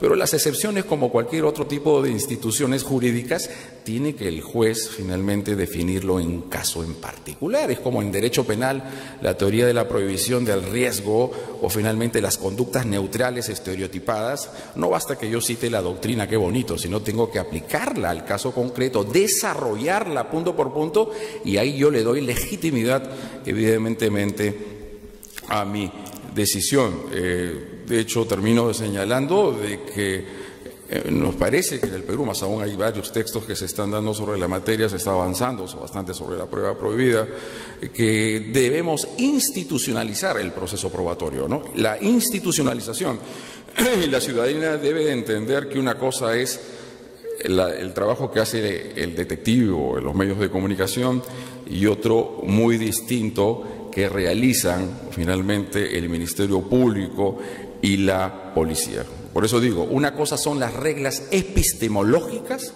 y otra finalmente son los patrones de la racionalidad empírica. Es decir, las reglas epistemológicas, el grado de conocimiento de la verdad, de cómo debo de obtenerla. Y lo otro son las practicidades de cómo pueden obtener. Termino dicho diciéndose entonces que nosotros tenemos que apuntar a la institucionalización del proceso probatorio que tiene que ajustarse a las reglas de un Estado constitucional de derecho y donde los operadores jurídicos, donde la investigación, si bien es cierto, es la policía el que actúa preferentemente, tiene que finalmente ser un fiscal que tenga que garantizar las actuaciones investigativas y finalmente el juez es el que tiene que, el tercero imparcial que declarar, ¿no? Y ver hasta que el efecto reflejo de la prueba prohibida es como aquellos que hay un allanamiento domiciliario, una inviolabilidad de domicilio, como bien lo dijo el doctor, ¿cuáles son las posibilidades de que una, que una policía ingrese a un domicilio sin autorización judicial? Urgencia y peligro. En la demora y yo sumo el principio de intervención indiciaria. Tiene que haber evidencias, sospecha vehemente de criminalidad de que en dicho lugar se está cometiendo un delito. Sin dicho no concurren esos presupuestos, la policía ingresa a un domicilio y encuentran finalmente, por ejemplo, las armas o los, este, unas armas de fuego que se ha cometido un delito. Y luego le toman la declaración con todas las garantías, con todas las garantías, con el abogado, con el fiscal enfrente, todos all together, todos bien juntitos, efecto reflejo de la prueba prohibida, porque hay un efecto de contaminación. Entonces hay que ir viendo finalmente esos procesos, esos ítems, cómo se van produciendo. Y creo que la cultura jurídica en nuestro país debe ir avanzando cada vez más para ir a la protección de los derechos fundamentales. Lógicamente que esa protección de los derechos fundamentales a veces va a tener eh, una suerte de choque, de tensión ante hechos graves donde la sociedad reclama firmeza en la persecución y en el castigo punitivo. Pero bueno, esas finalmente son las reglas del juego que tienen que someterse los operadores jurídicos en un Estado constitucional de derecho. Muchas gracias.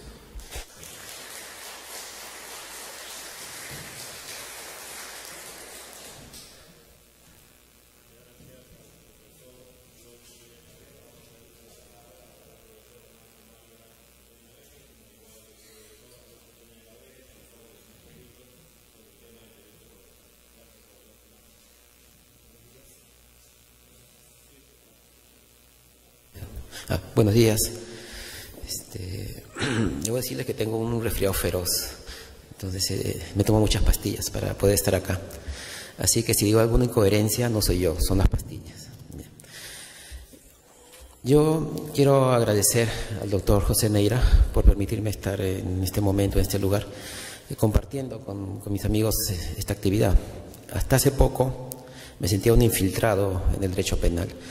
Pero el derecho procesal es más amplio, con ciertos matices es una sola disciplina y es lo que cultiva Jordi. Eh, yo quiero hacer un público homenaje al profesor Jordi Nieva Fenol, con quien me conocí a través de internet y luego ya tuvimos la oportunidad de conversar personalmente.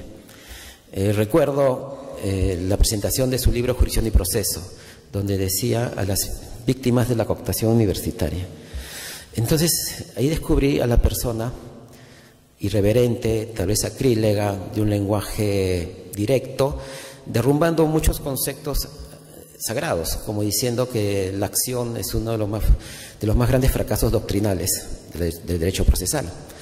Y eso me impulsó en realidad para investigar más allá del derecho, ver más allá de la simple norma, del discurso general, sino ver otro tipo de, aristas, un enfoque más multidisciplinario, transversal. Eh, hace un tiempo, Miquel Tarufo, hace muchos años, me decía, si sigue la carrera de Jordi, porque él dentro de poco va a ser un referente del derecho procesal. No ha pasado mucho tiempo y eso ya no es una profecía ni una conjetura, es una realidad.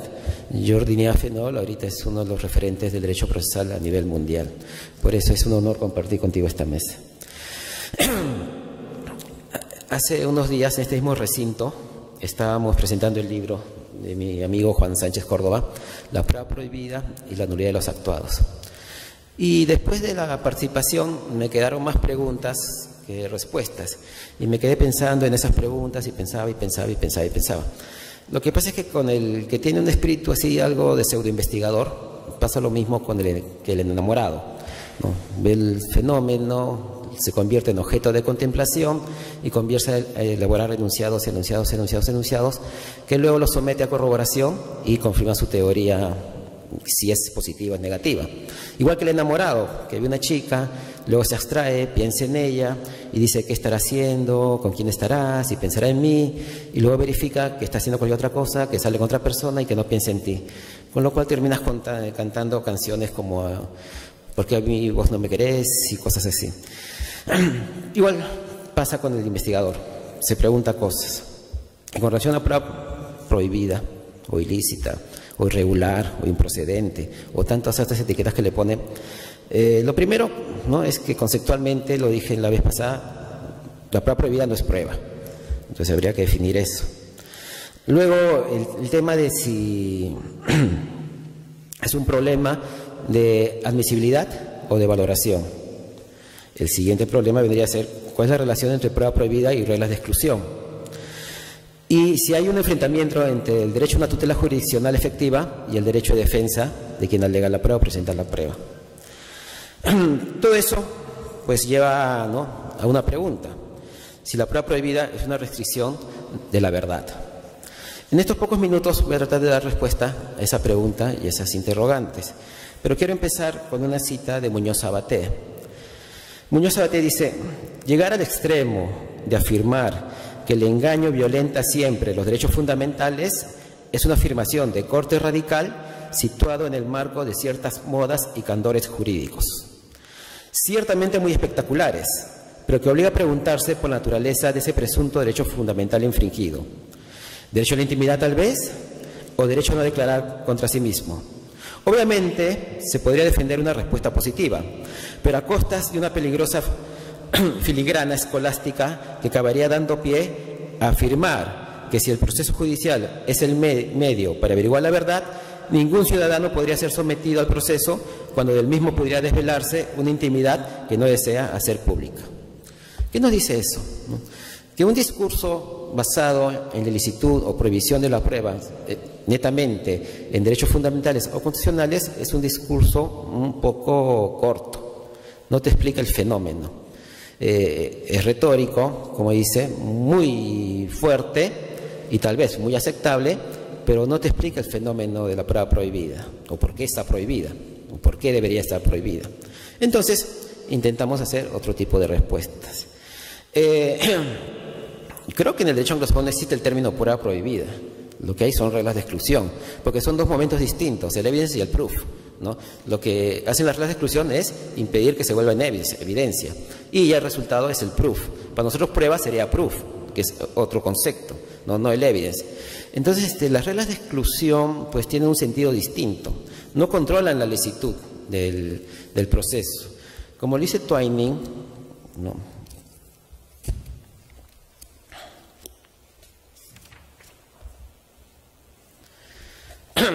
como menciona Twain, dice, las reglas que gobiernan casos civiles están construidas para lograr una justa, rápida y económica decisión de cada acción.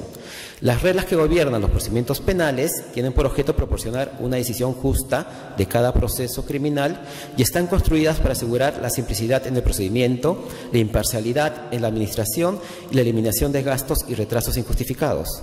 Las reglas que regulan la admisión y el uso de la prueba en ambos tipos de procedimientos están construidas para asegurar la imparcialidad en la administración, la eliminación de gastos y retrasos injustificados y la promoción del crecimiento y desarrollo del derecho probatorio con la finalidad de que la verdad pueda ser asegurada y los procedimientos justamente decididos. ¿Qué nos dice esta, esta cita? No? Que en realidad pues este, eh, las mismas reglas de la evidencia son contradictorias entre sí. Porque no te dicen que aseguran, se aseguran la eficiencia o aseguran la búsqueda de la verdad. Y es ahí pues que venía la definición de Larry Laudan de lo que es la epistemología jurídica. Él define a la epistemología jurídica que tiene dos grandes empresas, una empresa descriptiva y una empresa prescriptiva. Dentro de la empresa descriptiva ubica estas reglas de exclusión que son eficientes para la búsqueda de la verdad y las que no son eficientes para la búsqueda de la verdad.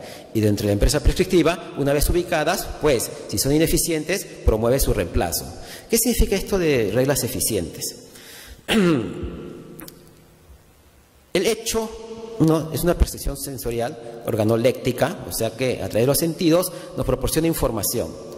Esa información después nosotros la reproducimos a través de un lenguaje, ya sea alfabético o numérico.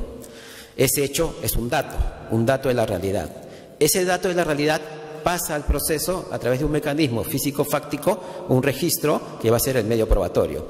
¿Qué es lo que llamamos al proceso? Afirmaciones de hecho. No llamamos hecho, sino afirmaciones de hecho. Entonces, en esas afirmaciones de hecho que llevamos al proceso, de ese plano real, finito, pasado, a un plano presente pero abstracto, que es el plano jurídico, pues ¿qué sucede? Lo que se quiere es ¿no? establecer la verdad como objeto institucional de la prueba para motivar la conducta de las personas o el apego al derecho. Porque si tú sentencias bajo eh, este, condenas falsas, ¿qué va a pasar? Que las personas no están motivadas para cumplir el derecho. Si para cumplir derechos igual van a sentenciar. ¿no? Entonces, el objeto institucional de la prueba es la búsqueda de la verdad, pero ¿para qué? Para evitar condenas falsas, para motivar socialmente la conducta de las personas y el apego al derecho. Si esta es la racionalidad, ¿no? entonces, ¿qué tenemos? Eh, la regla también define dos tipos de reglas de exclusión, las reglas extrínsecas y las reglas intrínsecas. ¿Cuáles son las reglas extrínsecas? Aquellas que tienen que ver justamente con la violación de derechos fundamentales, que no fueron creadas en el derecho anglosajón. Este, Miranda Masca, en el libro El derecho preso a la deriva, nos habla pues de que esta, esta violación de los derechos fundamentales como regla de exclusión ya era utilizada en la Edad Media en el civil law. Bueno, más allá del dato histórico, y después ya se, desarrolla, como contó Jordi, en el derecho anglosajón.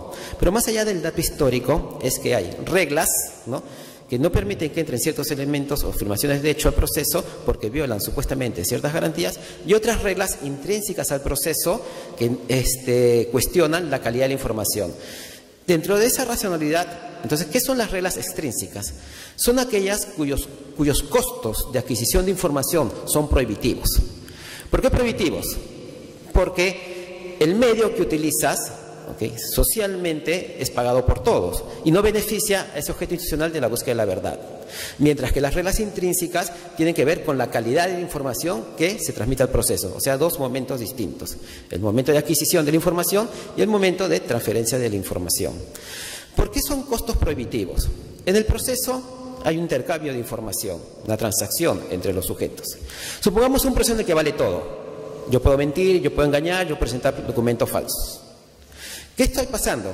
Que para la búsqueda de una resolución favorable, entonces estoy rentabilizando. Y al rentabilizar eso produzco mucha utilidad. ¿Esa utilidad a quién se la traslado? Se la traslado al juez porque el Estado tendrá que darle a él mayores mecanismos amplios para que investigue si eso es verdad y no es verdad. Como es el juez, en realidad somos todos. Entonces, ¿qué está pasando? Que la utilidad que gana uno se distribuye socialmente entre todos. Y eso no es racional. No es racional porque crea los llamados incentivos perversos justamente por utilizar ese tipo de mecanismos. Entonces, esas reglas de exclusión, basadas en supuestas lesiones a derechos fundamentales, en realidad son formas de adquisición con costos prohibitivos. ¿Por qué un, bien sale al mercado? Por los costos prohibitivos. ¿Por qué no puedo vender esos pandas? ¿Por qué no puedo? Este... ¿Por qué está prohibido matar? ¿Por qué está prohibido el incesto? Todas situaciones de ilicitud, antes de ser ilícitas, son socialmente prohibitivas. Si tú permites la autotutela desenfrenada, es decir, que cada uno puede ejercer la libertad plenamente, ¿qué sucede? Que la utilidad que yo gano, ¿no? solucionando, eh, imponiendo o determinando mi voluntad sobre otro, la traslado al otro sujeto como costos. Entonces, eso económicamente no es eficiente, no es racional. incentiva para que todos impongan su voluntad. Y entonces la sociedad se desintegra. Lo mismo pasa con las pruebas prohibidas eh, basadas en esas reglas de exclusión extrínseca. ¿no? Genera costos prohibitivos, incentivos perversos para la producción de estas pruebas y, este, tergiversa el objeto institucional de la prueba, que sería la verdad. ¿Por qué? Porque generaría sentencias falsas y entonces el no apego de la gente o la motivación de la gente para el cumplimiento del derecho. Mientras que las otras reglas de exclusión, las intrínsecas, por poner un ejemplo nomás, ¿no? el Giro 6 o testigo de oídas, ¿qué es lo que se cuestiona ahí? La baja calidad de información que contiene el medio probatorio. Si en un sistema probabilístico yo tengo 50-50, ¿no? eso podría ser aceptado. Pero si la calidad de información es baja, entonces, ¿para qué voy a permitir que eso entre al proceso? La mayor cantidad de hechos no significa mayor posibilidad de verdad. hay que separar, este, como decía el doctor Jordi, la, paja del trigo. No, sí, el doctor Jordi, así. No es solo que esté el doctor Duberly en la mañana en una ceremonia. Hay que separar la paja del trigo, ¿no?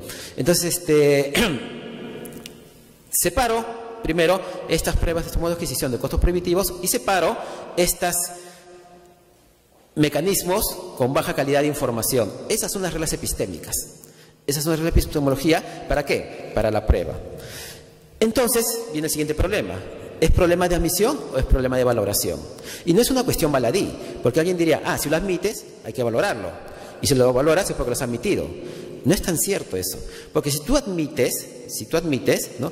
a pesar de que después lo hayas declarado nulo o lo que sea, ya puede crear un sesgo en el juzgador, un eurigma, ¿no? una idea ancla, que preconfigura el resultado. Y a pesar que ya no lo tengo, ya puedo ir ¿no? confirmando el resultado. Entonces, no es tan sencillo decir admisión o valoración. Finalmente, ¿no? Eh, en el derecho anglosajón no, no se habla de pruebas prohibidas, sino de reglas de exclusión. ¿Por qué? Porque el incentivo para el intercambio de información es antes del proceso. Es decir, el intercambio de información se da antes del proceso y por ello juegan sus cartas antes de. Mientras que en el proceso del civil law hablamos de prueba prohibida porque el intercambio de información es dentro del proceso. Entonces, dentro del proceso se tienen que seguir las reglas para el traslado de la información de hechos al proceso y que aseguren un, equilibrio dentro del proceso. Bueno, todos estos cuestionamientos, pues justamente ¿no? nacieron de la presentación del libro de mi compañero Juan Sánchez, que nos lleva a un examen más profundo, a un examen más multidisciplinario, del tema de la prueba prohibida, más allá de un discurso uniforme, un discurso este, monolítico basado en el contusialismo. Finalmente, este, para terminar, quisiera leer una cita en el libro de Larry Laudan, Verdad, Error y Proceso Penal, citando a May.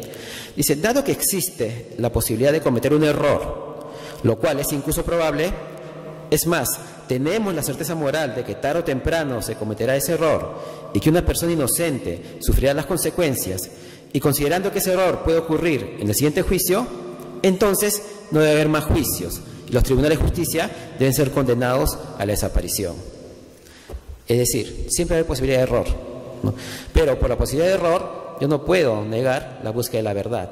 Susan Hatt decía que el investigador no está comprendido aunque sea cierto o falso, pero nunca debe renunciar a la búsqueda de la verdad. Muchas gracias. Bien. Vamos a darle su palabra al doctor Juan Sánchez Córdoba, profesor universitario, autor de un par de libros, el último justo sobre prueba prohibida y nulidad de actuados. Muchas gracias, doctor Neira. Es para mí un honor estar en la misma mesa que el doctor Jordi Nieva Fenol, experto, como ya el doctor Sumaria ha señalado hace unos momentos. Y obviamente, una persona o cualquier persona le daría un homenaje, pero no hay mejor homenaje que analizar la obra del autor homenajeado.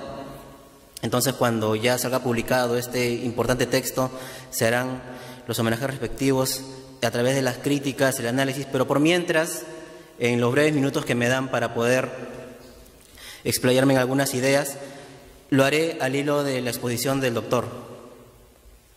El doctor empezó con la historia y la jurisprudencia estadounidense, muy importante en este tema.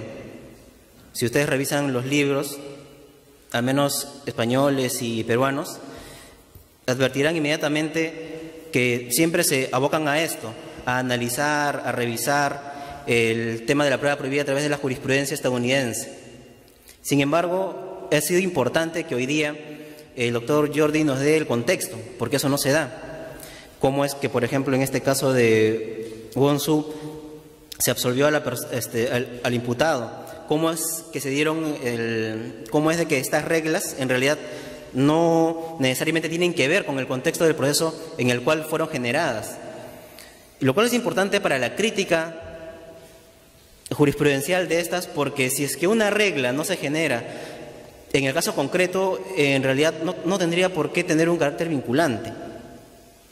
Pero además porque nos demuestra y nos da y nos hace ver cómo es de que se va formando este hilo conductor. Ciertamente cuando uno analiza estos temas sobre la base de la jurisprudencia, uno analiza la sentencia de Wick, Mabrus Ohio, Calandra y otros, pero también sería importante, doctor Nieva, de que nos hable del, del tema actual, ¿no? ¿Cómo está Estados Unidos después del 11 de septiembre? ¿Cuáles son las perspectivas actuales de la regla de exclusión? A su vez, también en la exposición del doctor se pudo ver el tema de la fundamentación de la regla de exclusión. Importante, interesante y sobre todo me parece muy esclarecedor en tanto de que no advierte o no asume este tema de las, excepciones, que en realidad vienen a ser más un problema que una solución en el proceso penal. Y para ello le comento, doctor Nieva, acá mucho se habla de la e-, excepción del balancing test o de la proporcionalidad. Entonces, el juez señala esta teoría cuando analiza un caso, tiene que hacer un test de proporcionalidad, ver la importancia del caso, ver la gravedad de los derechos fundamentales eh, afectados, bueno, y en realidad son varios criterios que varían de, acuerdo al autor, de acuerdo a la jurisprudencia. Este tema se usó, por ejemplo, en el caso del Polo, muy conocido, el Polo 2. Entonces, hay autores también que lo asumen. El doctor San Martín también tiene en su, en su libro una, un desarrollo de esto. Entonces, también a mí me gustaría de que usted nos hable sobre este principio de proporcionalidad, si que tiene algún asidero dentro de la teoría de la prueba prohibida. También el doctor habló acerca de, que la prueba prohibida tiene que partir, o, al menos no se puede entender cuando ella, cuando la policía tenga una sospecha fundamentada. Y esto también es un criterio que se ha analizado mucho. Y también ha sido motivo de excepciones. Por ejemplo, en la sentencia Sousa versus Estados Unidos, en un caso en el cual la policía hace un registro sin orden judicial a un automóvil, se señala de que como habían tantos elementos, la policía muy bien pudo haber eh, hecho esto con autorización judicial, pero por la urgencia no se pudo obtener. Entonces, habría que ver también si es que la sospecha fundamentada tiene que ver con el ámbito subjetivo del policía, lo cual sería bastante difícil de acreditar, pues el policía podría poner cualquier tipo de, eh, este, cualquier tipo de excusa o si que tiene que ser, o si que lo tiene que hacer el juez. Entonces ahí también caeríamos en una justificación. El juez también podría de cualquier forma justificarlo. ¿Cuáles serían las líneas para entender cuándo está fundamentado o cuándo no la sospecha? Me parece algo también bastante importante que se puede, que se puede realizar. Entonces, también acá me suscita, me suscita una duda la exposición del doctor Jordi.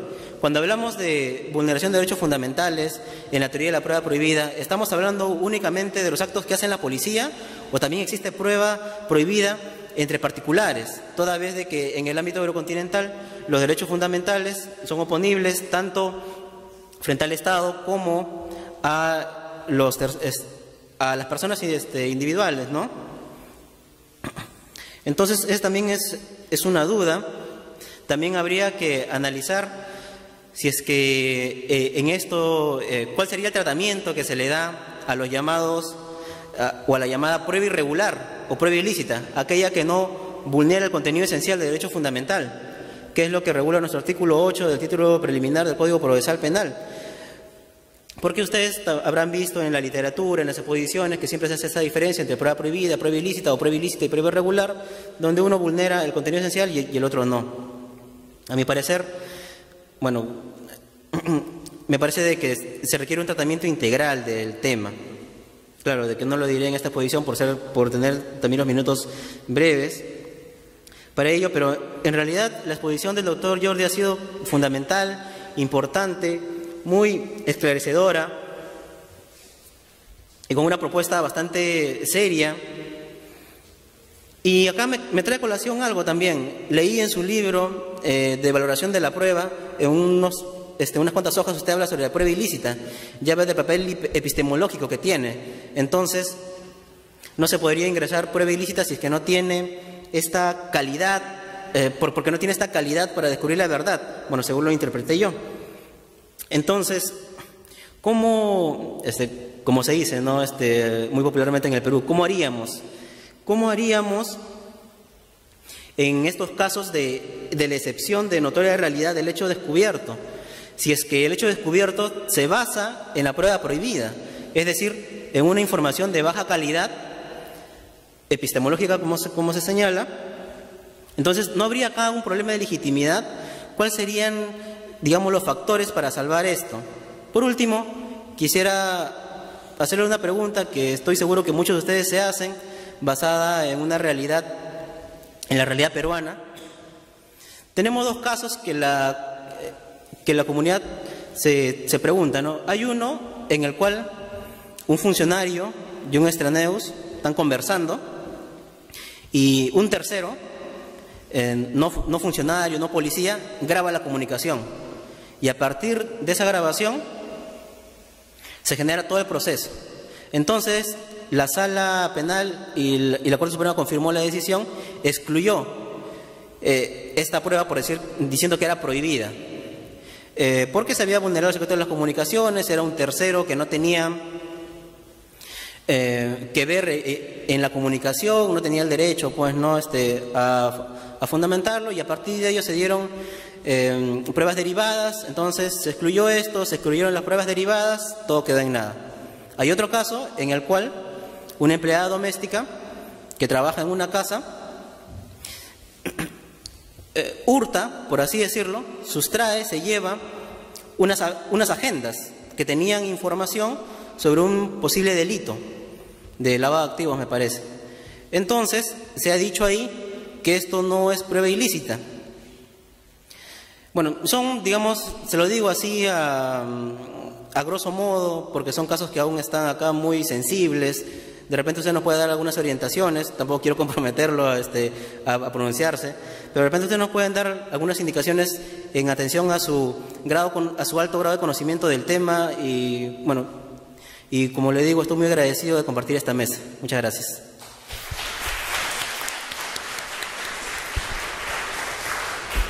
Bien, Juancito, excelente tus preguntas, pero el profesor tiene que ir al aeropuerto porque tiene que viajar a Panamá tiene un congreso. No, pero tenemos una hora más para disfrutar. Hemos convenido con el doctor Jordi, lo estamos seduciendo hace mucho tiempo. Él siempre, por si acaso, viene sin cobrar un solo centavo al Poder Judicial. Su predisposición por ayudarnos a, a mejorar siempre es así.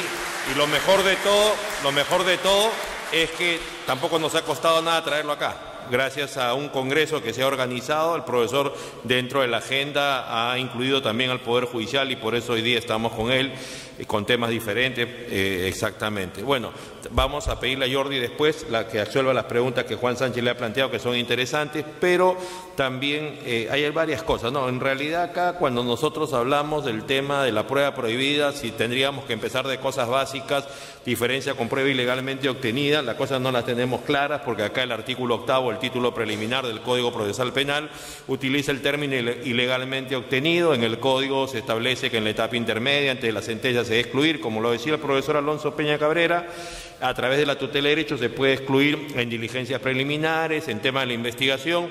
Nosotros no tenemos en el Poder Judicial, a pesar de que hasta la fecha hay 200 jurisprudencias vinculatorias entre casaciones, entre eh, acuerdos plenarios de las salas penales y recursos de nulidad, ninguna jurisprudencia que sea vinculatoria. Tampoco lo hay en el Tribunal Constitucional.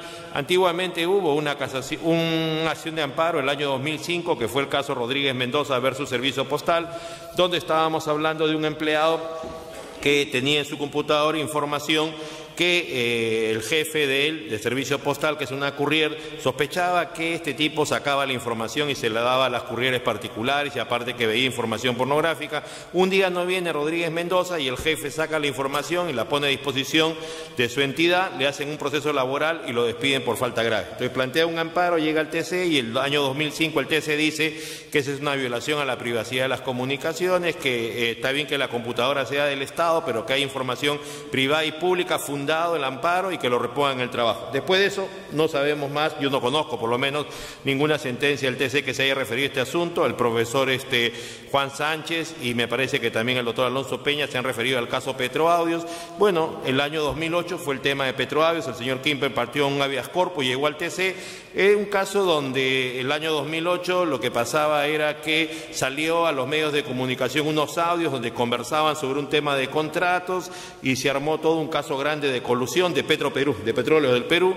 El asunto está que el señor Kimper plantea el habeas corpus, llega al TC y el TC lo que nos dice es la transcripción del artículo octavo, el título preliminar del Código Procesal Penal, qué cosa es prueba prohibida, la que se obtiene directa o indirectamente vulnerando el núcleo esencial de los derechos fundamentales y, después cita una sentencia del Tribunal Europeo de Derechos Humanos, el caso Chen versus Austria, la teoría global, que el Estado es incipiente, como decía el doctor Peña, y conclusión, e improcedente el habeas corpus. O sea, simplemente copia y pega cosas y en el tema de fondo no dice nada. Ahora, lo que pasa es que el año 2016 las cosas son más fáciles, porque el año 2016 la segunda sala penal liquidadora de Lima ya tiene, ya que nosotros en la Corte Suprema se supone que declaramos no haber nulidad, condado y condena y pena contra cuatro imputados que pertenecían a una empresa que se encargaba de interceptaciones telefónicas, que era la compañía Binestrack. Entonces ya estaban identificados, justo uno de los cuatro hechos era la interceptación de los teléfonos de este caso. Conclusión, más fácil no podía ser, entonces cuando ya va a empezar el juicio oral en la segunda sala penal liquidadora de Lima, es 2015 me parece que es afines, lo que hacen es decir, bueno, ya eh, el Estado está y por lo tanto se excluye y, con esa información, ¿cómo ha terminado el caso? Acaba la Corte Suprema de pronunciarse porque venía suelta la sentencia de primera instancia, el propio fiscal supremo ha estado porque se declare no haber nulidad en la absolución, en el modelo antiguo hablamos hoy día del principio de jerarquía, que nosotros no podemos, ¿para qué vamos a declarar una nulidad para insistir en la persecución? Además, mira todo el tiempo que ha pasado, nueve años han pasado y recién termina el caso, no haber nulidad, absolución de conformidad con el fiscal supremo en lo penal. Conclusión, en, nuestro país eh, la prueba prohibida es la historia de las excepciones. En realidad no tenemos claras las cosas, tu conferencia ha sido maravillosa porque el asunto es, por un lado decimos que el Código Procesal Penal tiene un origen europeo continental, pero, pero nunca, ni siquiera se invoca, no sé si tú estarás de acuerdo o no, si estará bien o no, pero en todo caso, si el Código Procesal Penal es europeo continental, entonces por lo menos trabajemos con España. Conexión de antijuricidad, si es que sirve para algo, el efecto reflejo, el coste social, pero nunca se cita eso. Más bien todo el tiempo lo que se hace en la propia jurisprudencia de las instancias anteriores y a veces en el Supremo Tribunal es trabajar con jurisprudencia del modelo adversarial de Estados Unidos Norteamérica, cuando siempre decimos que el código no tiene un origen adversarial ni es adversarial. O sea, en realidad no sabemos bien lo que estamos haciendo en este tema. La prueba prohibida es una historia de las excepciones y en todo caso el asunto está que, como decía el profesor Alonso Peña Cabrera, eh, por un lado está bien que esté regulado, pero por otro lado, como dice Manuel Mirandes Trampes, gran amigo nuestro, eh, de todos, de Jordi, amigo del profesor de la Universidad de Barcelona, de Alonso Peña Cabrera, que está muy delicado de salud, muy delicado de salud, esperamos que, se pueda recuperar de lo que está pasando. Eh, él decía pues que en todo caso esto debe estar sujeto a determinados controles, ¿no? Y que el Supremo Tribunal tiene que hacer una interpretación respecto a esto. Nosotros acá en la Corte Suprema lo que hacemos es caso por caso. Hemos tenido varios casos aparte del caso de Petroaudio donde se ha visto esto. Eh, por ejemplo, hemos tenido casos en el, 2013 eh, en la sala con el doctor San Martín, un caso que yo le llamo los lituanos. Tiene que ver con lo que Jordi ha dicho. Los lituanos son de ese país, de Lituania, y lo que va a pasar es que están en la calle, la policía los interviene, eh, no les encuentra nada que tenga que ver con drogas, se supone que la investigación va a ser por drogas, se va a otro inmueble, entran al inmueble y dice que encuentran 42 gramos de clorhidrato de cocaína. El asunto está que le hacen firmar las actas de incautación y ellos no hablan nuestro idioma. O sea, ¿cómo les pueden tomar la declaración y hacer firmar la anticonstitución si son de Lituania? Conclusión, vienen condenados. Este es un caso del Callao, llega a la Corte Suprema y nosotros declaramos haber nulidad, condena y pena y los absolvemos. ¿Por qué? Porque obviamente para empezar no había flagrancia delictiva, uno, no había autorización de un juez y tres, se ha violado el derecho de defensa porque los han obligado a firmar un acta sin saber lo que firman. O sea, imagínense ustedes. Tenemos otro caso también que es conocido como el caso del Fundo Bocanegra, un caso acá del Callao. Fundo Bocanegra es un barrio bien bravo, peligroso en el Callao. y entonces la policía llega y la policía entra y lo que dice es que ha autorizado a la persona que es, la que es propietaria de ese inmueble y dice que le incauta determinada cantidad de droga. La zona es tan brava que la persona que es intervenida en este lugar tiene una herida de bala y está en una camilla. O sea, imposible que le pueda haber abierto la puerta a la policía para que ingrese. Eh, sabe sus derechos, no firme el acta de incautación. El tema está que, que a pesar de esto, lo que va a pasar es que hay una condena en primera instancia. Y entonces lo que él alega obviamente que acá no es un caso de flagrancia, que la policía le ha colocado la droga, que no tiene nada que ver con el caso y nosotros en la Corte Suprema obviamente nos damos cuenta de que eso es así. Primero no había una orden del juez para poder entrar. Segundo, si él estaba con una herida de bala en una camilla, ¿cómo podría haber abierto la puerta? La única persona que estaba en su casa era su padre que tenía Alzheimer, o sea, imposible que se levante para abrir. O sea, físicamente no había ninguna posibilidad. Eso lo advertimos en la Corte Suprema y declaramos haber nulidad condena y pena. Después tenemos otro caso, me acuerdo, de Guaura también, o sea, en Lima, acá en el centrado de Lima, en Miroquesá, por donde está el restaurante, este restaurante donde van muchos los fiscales, que es muy caro, frente al, comercio, que vale un, plato, un arroz con pato 60 soles, el Manhattan. No, el doctor Alonso Peña no, porque es un jefe de cooperación internacional, pero bueno, el asunto está que interviene en un auto en ese lugar interviene en un auto en ese lugar y en el interior hay una señora con el chofer con 12 botellas de clorhidrato de cocaína, cada botella con 750 centilitros. Le preguntan a la señora, ¿qué más tiene que ver? El dueño del hotel de Guaura tal es el que me ha provisto el dinero para que esto sea así. Arman un operativo en Guaura, entran al mejor hotel que hay en, que en Guacho, Guacho de acá a un par de horas, entran y dice que encuentran una botella del mismo tamaño pero con 200 centilitros de clorhidrato de cocaína. Entonces, ¿qué dicen? Él está involucrado. Está corroborado, conclusión, 15 años de pena privativa de libertad en la sala superior contra este señor, el dueño del hotel, 15 años, primero la señora, la que los indicó, eh, se acogió al comienzo del juicio oral a la conclusión anticipada del debate, el mínimo era 15, de 15 a 35, 12 años de pena privativa de libertad, y lo que pasa es que cuando va al juicio oral, la señora dice, lo que pasa es que él es mi amante, él tiene su esposa, yo le dije para que se divorcie, no se quiso divorciar y cuando la policía me interviene a mí con, la droga, me pregunta quién es el responsable, por eso lo involucré. El tipo niega, también comprenden a la esposa de este dueño del hotel que termina absuelto, el señor que la conducía la señora acá en el centro de Lima en el auto era el hermano del dueño del hotel de Guacho, que no sabía, en realidad era un hecho probado el tema de la relación extramatrimonial y todo el asunto, pero ¿qué va a pasar en este caso? Se entiende que cuando se dice que se ha encontrado una botella con las mismas características de droga en el hotel de Guacho, pasa lo siguiente, un hotel es un hotel muy grande, van muchos fiscales provinciales, van muchos policías, y el tema está que tiene que ver, tiene que ver el tema de cómo es que se obtiene el cuerpo del delito, cómo es que se obtiene el elemento material, porque esa es la gran pregunta, o sea, es y porque ¿qué dice la persona intervenida? Me lo ha colocado la policía, me ha estado extorsionando, me ha estado pidiendo dinero, yo no le he querido dar nada y por lo tanto me lo ha colocado. Conclusión, entonces acá viene una primera discusión. Los señores fiscales siempre dicen que no pueden ser testigos de estos hechos, pero los que tienen que saber qué pasó acá fueron ellos, porque el imputado dice, me lo ha colocado la policía. Conclusión, los señores fiscales provinciales adjuntos se les toma su declaración y se les pregunta, ¿y cómo llegó ese elemento material al caso? Y los señores policías o los señores fiscales dicen que no han visto, salvo cuando un policía levantó un costal y del interior del costal sacó una botella y dijo bingo.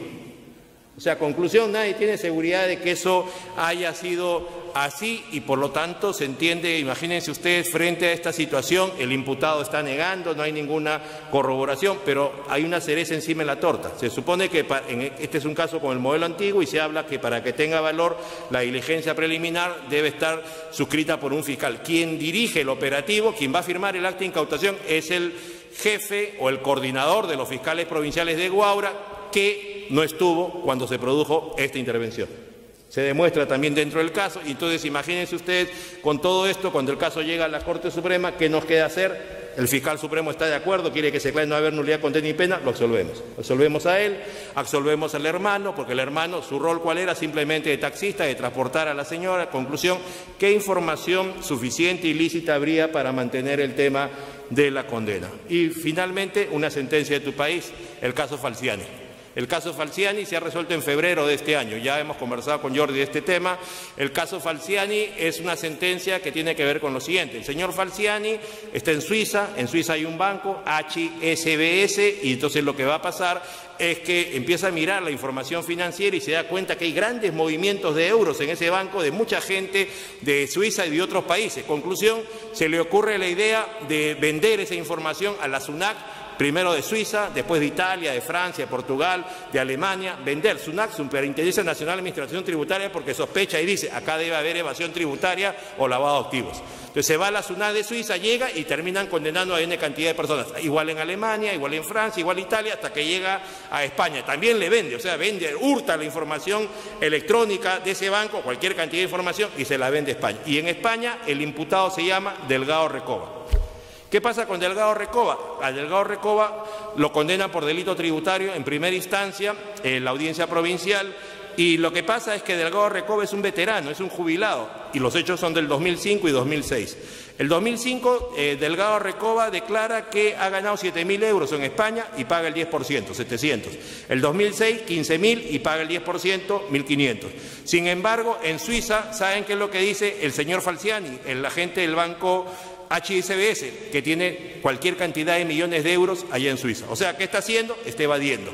El tema está que se la vende, como le dije a ustedes, a la SUNAC, Superintendencia Nacional de Administración Tributaria de España, y lo que va a pasar entonces finalmente es que en España lo condenan, va a la sala, sala penal de la Corte Suprema de España, y entonces lo que dice la sala penal de la Corte Suprema de España es lo siguiente, sirvió, porque la imputación ¿cuál es?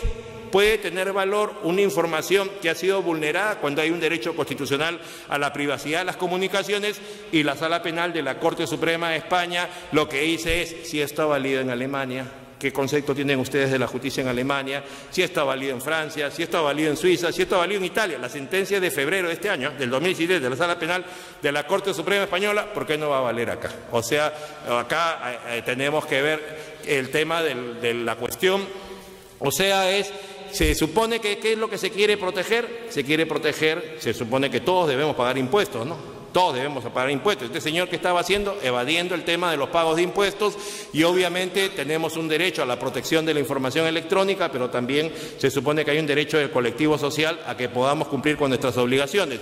Eh, en todo caso, me parece a mí que es interesante saber lo que pasa en Europa continental, porque se puede decir que en Perú, bueno, las cosas todavía no están muy clara, muy definida, obviamente con la conferencia hoy día de Jordi Nea Fenol, donde nos dice si la cosa es notoria y evidente, entonces hay que mantenerla sin prejuicio de la sanción al policía, cosa que la comparto totalmente, porque la idea tampoco es de que hay que excluir todo, depende de cada caso, depende de cada situación y por lo tanto creo yo que va a ser muy útil, además te está viendo todo el país, Jordi, esto va a quedar registrado y, eh, sin prejuicio del libro, que seguramente vamos a tenerlo pronto, vamos a poder mejorar la jurisprudencia que hay en el Perú sobre este tema que es delicado, porque la idea es, como lo decía antiguamente el tribunal alemán, la verdad no se puede obtener a cualquier precio y el primer límite son los respetos a los derechos fundamentales. Muchas gracias Jordi y Eva Fenol por venir ya ha venido siete veces al Perú y las siete veces que ha venido ha colaborado gratuitamente con el Poder Judicial. Mi reconocimiento a nombre del presidente de la Corte Suprema, Dubelí Rodríguez Tineo. Esta actividad se ha hecho por el equipo de mejoras del proceso penal que preside el presidente de la Corte Suprema, también por el Centro de Investigaciones Judiciales y por EFAJA, por la Escuela de Formación de Auxiliares Jurisdiccionales de la Corte Superior de Lima que dirijo. Jordi de repente algunas palabras que quieras comentar y después le vamos a dar uso de la palabra a todos ustedes. Muchas gracias, Jordi. Bien, muchas gracias en primer lugar por todos los comentarios sumamente elogiosos que me, me, han dedicado. Voy a responder eh, muy brevemente a todas las preguntas para darles a ustedes oportunidad de, de debatir, porque vamos por sus caras mientras estaba hablando y mientras estaban hablando el resto de ponentes he visto que el tema pues les, les conmovía, ¿no? O sea, realmente pues era, una cosa interesante. Pero antes eh, respondo al resto de miembros de, la mesa. Bueno, al fiscal superior, pues, en fin, coincidencia con lo que, con lo que ha dicho. O sea, básicamente, pues no, no puedo decir mucho, mucho más. Eh, en cuanto a lo que nos ha contado Mar Sumaria, Eh, solamente una curiosidad. Yo no sabía que Miquel Tarufo te había dicho eso. no, lo sabía, luego me lo vas a contar con más, con más detalle, pero bueno, pero en todo caso, pues dice mucho de él y, de la, y del afecto que, que, nos tenemos. Bien, en cuanto a, las palabras de, Juan Sánchez, eh, me ha interesado muy especialmente eh, cuánto decía en cuanto a a bueno, la posibilidad de exclusión de prueba fuera del proceso penal. Fuera del proceso penal. Efectivamente, ese es todo un tema. Es todo un tema y que no ha sido estudiado. ¿eh? El, mm, estudio más reciente, publicado en italiano hace nada, hace escasos días, es de un discípulo de Michele Tarufo, precisamente, de Luca Pasanante, que ha publicado un libro que se llama La prueba ilícita en el proceso civil. Eh, hay que leerlo. Yo no sé qué va a decir y por tanto es posible que desmienta mis palabras después de haber leído este libro, porque no me gusta hablar no tanto de lo que no sé, sino de aquello que no he reflexionado tanto sobre ello. Pero de todas maneras voy a decir mi opinión, mi opinión provisionalmente. Mira, si yo pienso que la policía eh, no puede realizar ciertas actuaciones vulneradoras de derechos fundamentales y la policía es un poder público, Imagínate lo que puedo pensar de que eso mismo lo haga un ciudadano privado y nos someta en una sociedad en la cual nos estemos todos vigilando a todos y tengamos la sensación permanente de persecución como si estuviéramos en la Alemania nazi o en Corea del Norte. Es decir, no, no, no, no, no puede ser que no podamos hablar libremente en una democracia, que yo no pueda tener una conversación con cualquiera de ustedes y que tenga el riesgo de que venga un tercero que esté grabando aquello, que por supuesto seleccione el trozo que más le interese de la conversación, que yo puedo haber estado bromeando, puedo haber matizado mis palabras después, puedo haber dicho mil cosas, y entonces a partir de ahí que por supuesto esas matizaciones, pues no, eh, no, no, no, no, aparezcan públicamente. Es lo mismo que hacen los, los periodistas, ¿no? O sea, eh, un periodista lo que está buscando cuando te entrevista normalmente es un titular. Un, mal periodista, quiero decir. ¿eh? El buen periodista busca otras cosas, busca información. ¿no? Pero el mal periodista busca un titular para hacer la noticia. Y entonces, claro, ¿qué es lo que hace? Pues selecciona la, información.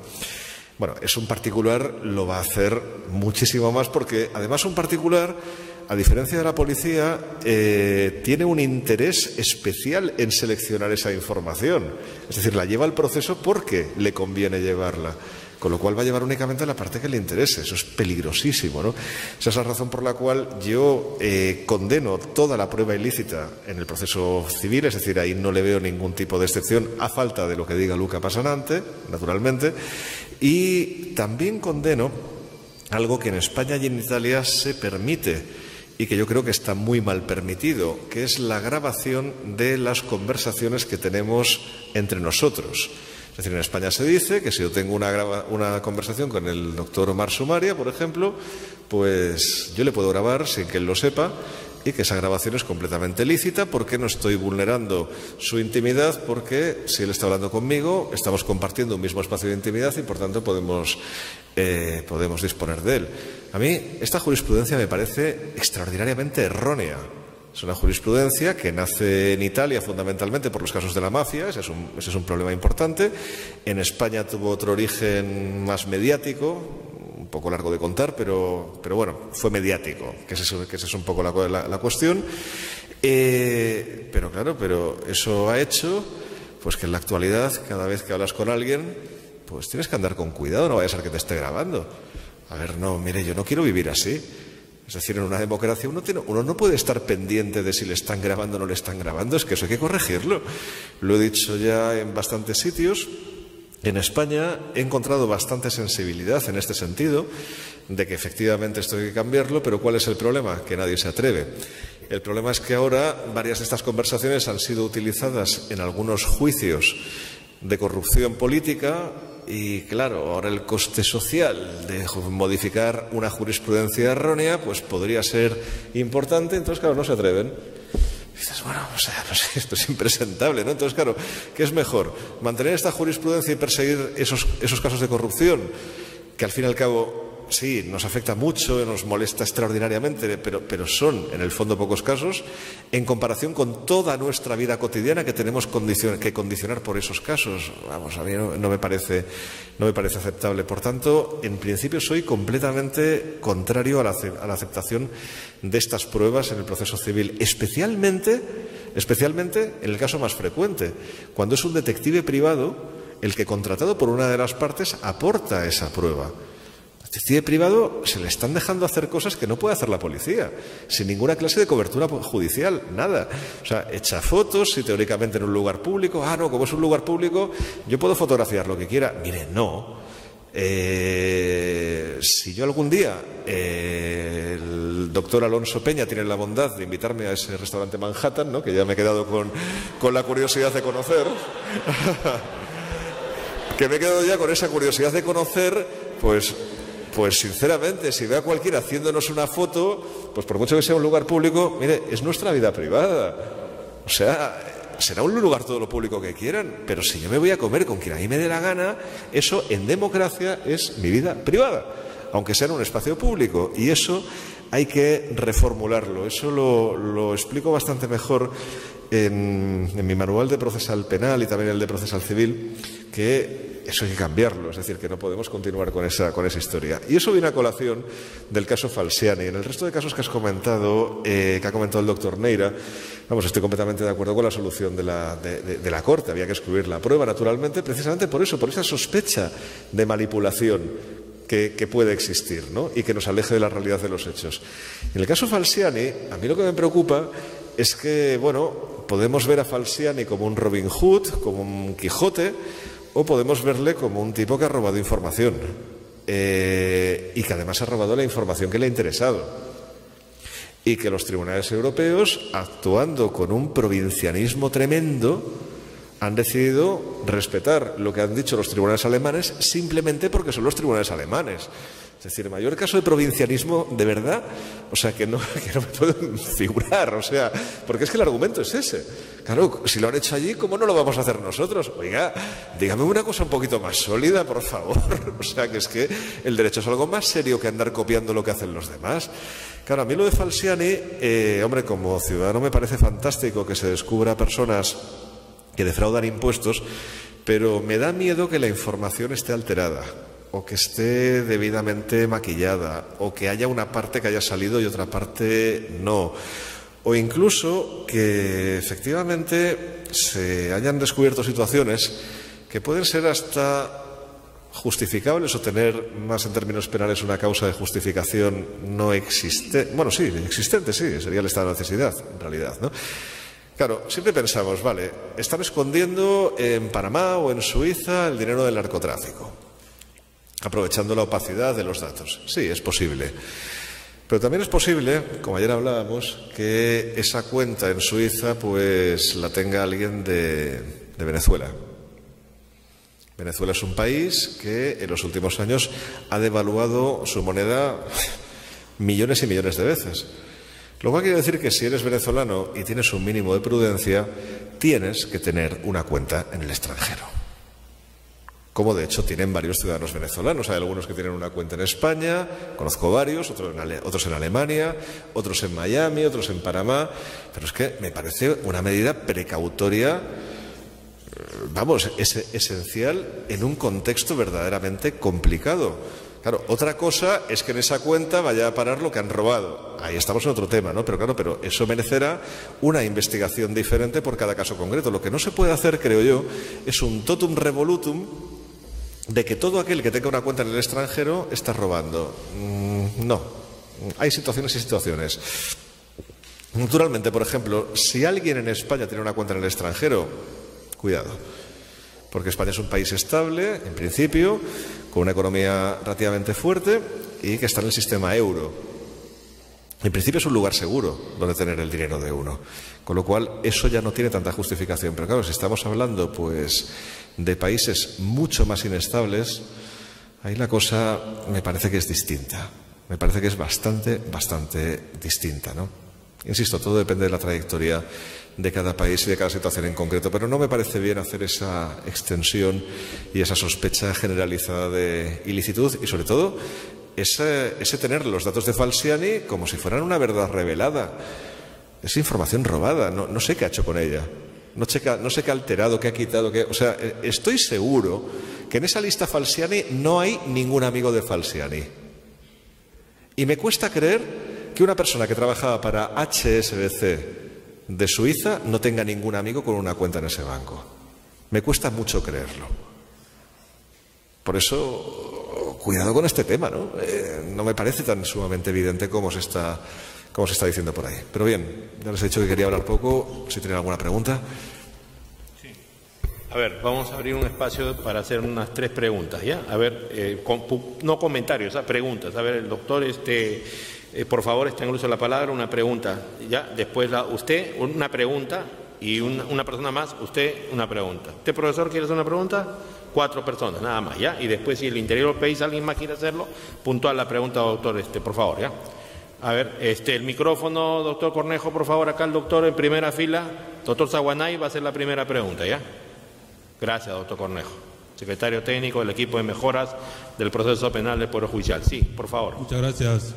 Eh, agradeciendo la, calidad de la exposición que nos ha eh, llevado a un reduccionismo, porque en el Perú hemos tenido una serie de eh, causas para excluir esto.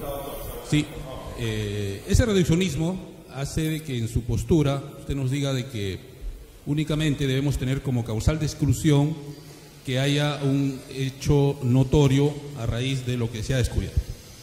Eh, ahí también usted puso como ejemplo el caso este de la persona que tenía tres bolas de crack en el bolsillo y también otro caso de 3.000 kilos. Si no, o sea, ¿cuál es la diferencia? Ese es el tema de gradualidad que siempre tenemos los jueces para decir, pues este es un caso notorio, ¿no? Donde damos por notorio, ¿qué?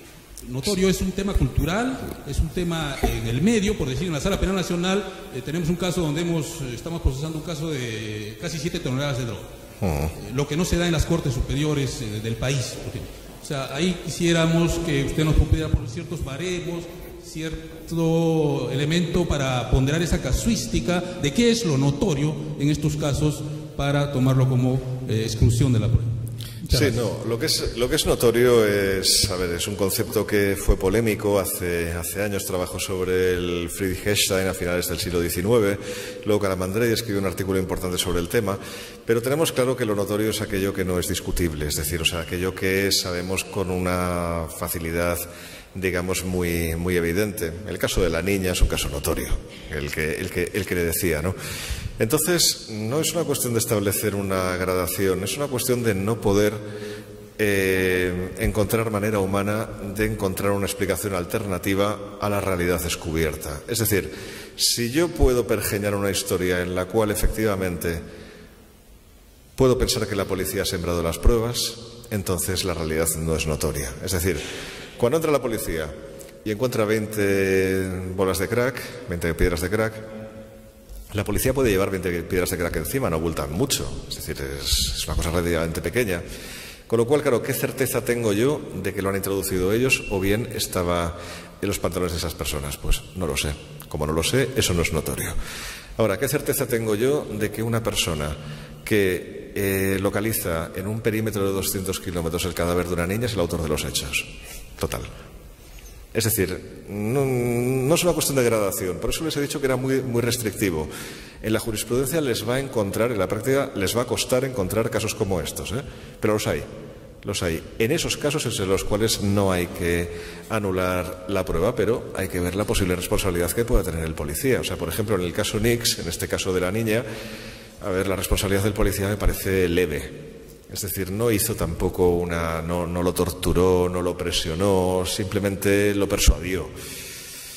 Hombre, una persuasión, pues evidentemente le puede acarrear una sanción, pero yo no lo excluiría del cuerpo. O sea, me parece una mala praxis, nada más. Pero no, pero no una mala praxis tan grave como pegarle una patada a la puerta de un domicilio. ¿De acuerdo? Siguiente pregunta, por favor. Alonso Peña, ¿Sí? No, pero no quiero quebrar la. Bueno, sí, sí. Todas maneras, doctor Nenes, ya veo que ya que quebró la dieta, así que lo voy a invitar. Pero acá no más cerquita. no hay problema, con mucho gusto. No, solamente que en el tema me pareció interesante, la, hemos trabajado juntos en San Marcos, Sánchez Córdoba, aprecio una juventud como finalmente está dándole buenos lustros acá bajo la batuta del doctor Neira Flores, el tema de la, de la ponderación de intereses. Quiero hablar un poquito solamente, someramente, ¿no? Eh, en derecho penal o en el sistema punitivo siempre nos encontramos en un conflicto de intereses. Eso es algo el pan de cada día, ¿no? El principio de proporcionalidad, de razonabilidad, mientras más aún en el derecho penal, mientras que el delito sea más grave, hay mayores posibilidades de una gravedad combinatoria, igual cuando es menos grave hay posibilidades de salidas alternativas, criterios de oportunidad y obviamente, ¿no? Entonces, lo que él mencionó, y evidentemente este es un caso muy mediático, era un tema de un hurto, que es lo que vale más, el patrimonio de una persona o este alto interés de la, de la sociedad en averiguar hechos punibles de alta gravedad. Entonces, algo muy discutible. Mi postura es que sí debe aplicarse el principio de ponderación de intereses. No significa relativizar o vaciar de contenido un derecho fundamental, sino dar un caso concreto una determinada valoración. Evidentemente esto debe de suponer un trazado que tiene que darse dentro de un análisis y una valoración caso por caso y a lo cual finalmente este, nos encontramos en una situación en la cual tanto la judicatura, igual que el Ministerio Público y también el derecho de la defensa tomarán las decisiones, pero creo que eh, las excepciones hay que abrir un campo, pero termino diciendo que las excepciones no pueden convertirse definitivamente en la regla. Eso es lo que quería señalar. Gracias, doctor Alonso Peña Cabrera. Por si acaso les interese, esta sentencia del caso Falciani es Tribunal Supremo, Sala de lo Penal, sentencia número 116 2017, 116 2017 y es del 23 de febrero del 2017. 23 de febrero, sentencia número 16 y slash 2017. Señorita, está en el uso de la palabra para la pregunta que quiere hacer. Señorita, ¿usted va a hacer la pregunta? Ya, dele el micro, doctor Cornejo, a ver. Gracias. Muchísimas gracias. Eh, doctor, bueno, advierto un poco de misoginia, creo, en el panel, ¿no? No hay ninguna mujer y lamento mucho ello, porque siempre debemos tener participación por la equidad de género. Fui como becaria, estimado doctor Jordi, a representar al Perú, a España y estudié un posgrado en Derecho Penal Internacional. Ello me sirvió para advertir este, en cuanto a los conceptos de la evolución de la sociedad europea, en lo que es el tema de ciudadanía y educación, lo que evidentemente se transforma en la perfección del sistema de justicia europeo. ¿no? Consecuentemente, eh, lo que, a lo que voy es que tenemos en nuestra sociedad peruana al pensador Joan Guimaray, quien define la justicia como divino este, doctora, cotidiano ejercicio de ser consciente. El micro, aléjelo un poco de su boca y directo la pregunta, por favor, ya, porque si no hace mucho en este, en este contexto, ¿cómo podemos analizar la prueba prohibida si evidentemente esta podría consagrar una especie de escudo protector para los delincuentes? Ello por la cultura peruana o latinoamericana del vivo por tonto o tonto por vivo, ¿no? No cree que ello conlleve la impunidad, pues más allá de una justificación de derechos fundamentales, ¿no cree usted eh, que en esta búsqueda de la verdad nos podría usted a lo mejor eh, dar algunas luces sobre un protocolo ético de valores que nos permitan limitar dichos estándares para contrastarlos con la realidad que tenemos en nuestro país, que es tercermundista? No, no, no, vamos a ver, eh, eso sí que hay que entenderlo muy bien. La exclusión de la prueba no es un escudo protector de los, de los delincuentes. No, la existencia de derechos fundamentales es un escudo protector de la ciudadanía frente al tremendo poder del Estado, entre el cual también está la policía, que por cierto también puede ser delincuente. ¿eh?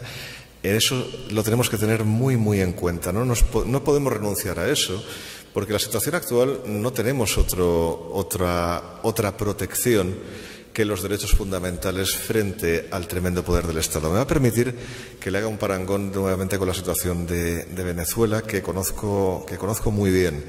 Y conozco muy bien además porque conozco a personajes de ambos bandos que uno de los principales problemas es que no se reconocen entre sí ninguna legitimidad. Ese es uno de los principales problemas de Venezuela. Miren, eh, decía William Blackstone en el siglo XVIII que los ciudadanos tenían la obligación de alzarse en armas contra gobiernos injustos para hacerlos caer. Eso es lo que decía William Blackstone en el siglo XVIII y, si le digo la verdad, salvo en cuanto a la referencia a las armas, estoy de acuerdo. Los ciudadanos tenemos que oponernos a gobiernos injustos. ¿Cuál es el problema que existe actualmente para derrocar a un gobierno injusto?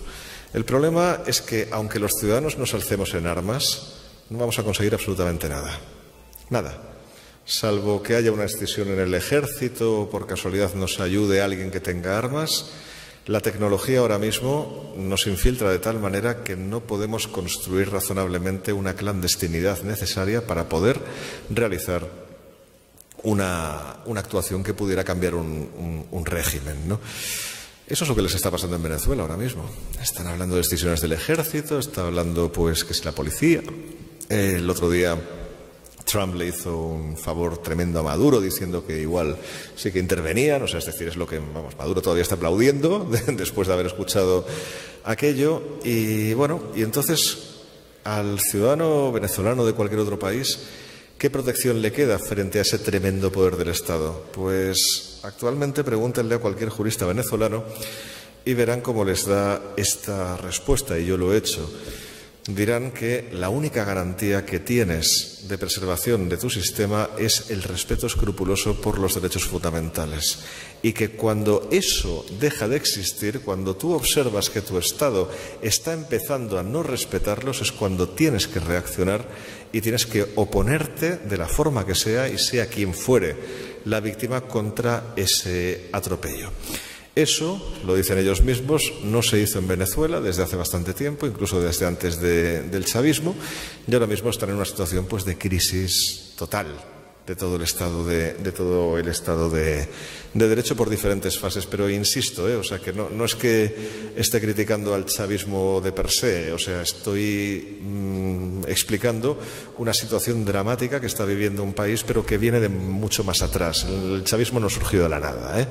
O sea, surgió de un Estado que ya antes del chavismo era esencialmente muy corrupto, muy corrupto, y que sus jueces, pues aceptaban pues frecuentemente o, prácticamente de manera sistemática pagos por hacer determinadas sentencias, no había independencia real del poder judicial y la policía era lo que era. Mm, bueno, eso es lo que hay y eso es lo que uno pues tiene que explicar. Eso no ocurre cuando se respetan los derechos fundamentales. Por tanto, no crean que los derechos fundamentales protegen al delincuente, claro que sí, pero también protegen al ciudadano falsamente, acusado, naturalmente, por supuesto, ¿no? al ciudadano inocente. Y no crean que la mejor forma de descubrir la realidad es vulnerando derechos fundamentales. Esa idea, muy Clint Eastwood, como decía antes, es completamente falsa. Está muy arraigada en la sociedad, tanto como que la pena de muerte acaba con todos los criminales y es lo mejor que podemos hacer. No es verdad estadísticamente no es cierto, no está basado en ningún conocimiento empírico, no es verdad. Simplemente no es verdad. Tenemos que meternos eso en la cabeza, porque de lo contrario, insisto, estaremos convirtiendo a nuestra policía en un órgano paramilitar. Ya les pasó en Estados Unidos. No hagamos exactamente lo mismo. Y bueno, y todavía sufren las consecuencias. Ustedes han visto vídeos de, un policía modificando las pruebas de un lugar y luego llamando a, sus compañeros diciendo, mira, he encontrado esto, ¿no? que lo acaba de dejar él. O sea, todavía estamos así. Es decir, no, no, no, no, no pensemos eso. Es algo muy mm, proveniente de la cinematografía, muy proveniente de, bien, de mentes, pues que intentan actuar de buena fe, pero que en todo caso pues son muy ingenuas y sobre todo no está basado en ninguna clase de conocimiento empírico. Más. Sí. Si, quieres añadir algo, me dices, no, ¿eh? No, no, no, vale, vale. Derecho penal del enemigo. Claro. Lo que nos están vendiendo. Pero claro. mucho. Pero claro. mucho. Mm, doctor Jordi, muchas felicitaciones por su excelente conferencia. Para preguntarle, este, doctor, ¿cómo usted valora una prueba ilícita solamente con sospechas y por antecedente del imputado? No, es que no se puede valorar una prueba por los antecedentes del imputado. Ahora, ahora mismo estaba, estaba, estaba hablando con el doctor Alonso Peña, me preguntaba sobre un caso muy concreto y, y, bueno, yo le he dado una respuesta, que tengo que reflexionar más, lógicamente, pero le he dicho, ¿te das cuenta que si los hechos del caso no fueran los que son y afectaran a quien afectan, nuestra respuesta no tendría ninguna duda? Es decir, eh, afecta mucho, digamos, la situación en la cual pongas eh, el contexto del hecho que estás enjuiciando. Y yo lo que intento siempre como investigador es salir de ese contexto. Es decir, que eso no nos importe. Entonces, a partir de ahí, juzgar una prueba ilícita pues a través de antecedentes, a través de sospechas, a través de lo que pensamos que puede haber hecho esa persona teniendo en cuenta que tiene... No, me parece incompatible con la presunción de inocencia. Yo, desde luego, no lo, recomendaría. Hay que juzgar individualmente cada, cada, hecho, naturalmente. Otra cosa es, por ejemplo, decidir sobre la procedencia de medidas cautelares. Ahí sí que tienen un valor los antecedentes. Porque, claro, estoy hablando de información preliminar, de información, pues que todavía tengo que comprobar, etcétera. Bueno, entonces el hecho de que una persona tenga antecedentes de un delito que es el mismo que estoy juzgando, si tengo que decidir si le meto en prisión o no, pues hombre, si tiene antecedentes, pues a lo mejor le meteré para evitar la reincidencia. Ahí tiene un sentido. Claro, pero no le condenaría. Pero no le condenaría. ¿De acuerdo? Hay una diferencia ahí, ¿eh? Y tampoco tengo tan clarísimo que le metiera en prisión solamente por los antecedentes, ¿eh? O sea, desde luego solamente por los antecedentes, no. Eso por supuesto. Sí. Bien. Eh, profesor Rafael Prado, por favor. profesor Jordi Nieva, felicitaciones por la, por la ponencia. Mi pregunta eh, se relaciona con la intervención del profesor Alonso Peña Cabrera respecto a los momentos en donde hay que diferenciar cómo obtener la prueba y cómo conocer la prueba, ¿verdad? Entonces ahí me, tengo una duda, eh, profesor, es que cuando usted señala que es la notoriedad, la, exclusión de la prueba ilícita, no estaremos trayendo el momento de la valoración de la notoriedad al momento de la admisión de la prueba. Sí, sí, sí, naturalmente, pero no, le, no, creo que tenga ninguna, ninguna desventaja que esto sea así. Al contrario, me parece que lo que, igual que dice la doctrina, que lo que es notorio no debe ser objeto de prueba precisamente porque es notorio, pues en este caso concreto, lo que es notorio, que es real, tiene que ser sometido a un proceso. ¿Por qué? Porque el reo todavía puede alegar argumentos en su defensa tipo atenuantes, tipo pues causas de justificación, es decir, le tenemos que dejar esa oportunidad e incluso intentar combatir esa notoriedad inicial que vemos en un, eh, que vemos en un principio, a pesar de que lo he planteado de una forma tan restrictiva que realmente es muy difícil. Es muy difícil combatir esa notoriedad. Pero, por ejemplo, en el caso de la niña, ¿no? que es el que más les ha, les ha, les ha impactado a todos, ¿no? Claro, en este caso, pues, a ver, esa persona puede ser, tener un trastorno mental. Bueno, si tiene un trastorno mental, simplemente es inimputable, por tanto, no se le podría condenar por ello. Bueno, hay que celebrar el proceso para saber si efectivamente estaba padeciendo ese trastorno mental en aquel momento. Causa de justificación no veo ninguna, ¿no? O sea, si verdaderamente pues, ha habido una agresión sexual de la, de la víctima. Otra cosa es que únicamente hubiera habido una muerte, ¿no?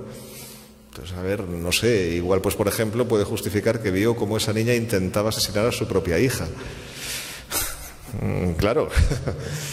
Y eso habrá que probarlo. Es decir, no tenemos dudas de que ha sido él, pero no sabemos si eso nos va a llevar a una sentencia de condena. Esa es la, esa es la diferencia y para eso pues hay que celebrar el proceso. Pero la autoridad, por supuesto, claro que hay que avanzarla, sí, sí.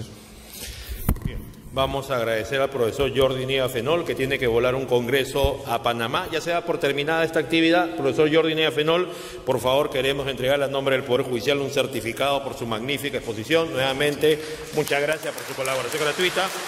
También el, equipo técnico institucional del Código Procesal Penal quiere hacerle presente las últimas publicaciones y unos pequeños obsequios que ojalá que les puedan ser útiles. Muchas gracias, profesor. Un aplauso fuerte para el profesor Jordi Nieva Fenol, por favor.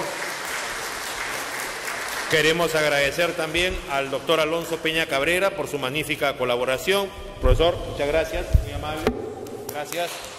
Al profesor Omar Sumaria también queremos pedirle totalmente un agradecimiento, doctor. Muchas gracias. Al doctor Juan Sánchez Córdoba también, muchas gracias. A todos ustedes muy amables por su participación. Hasta la próxima actividad. Buenos días.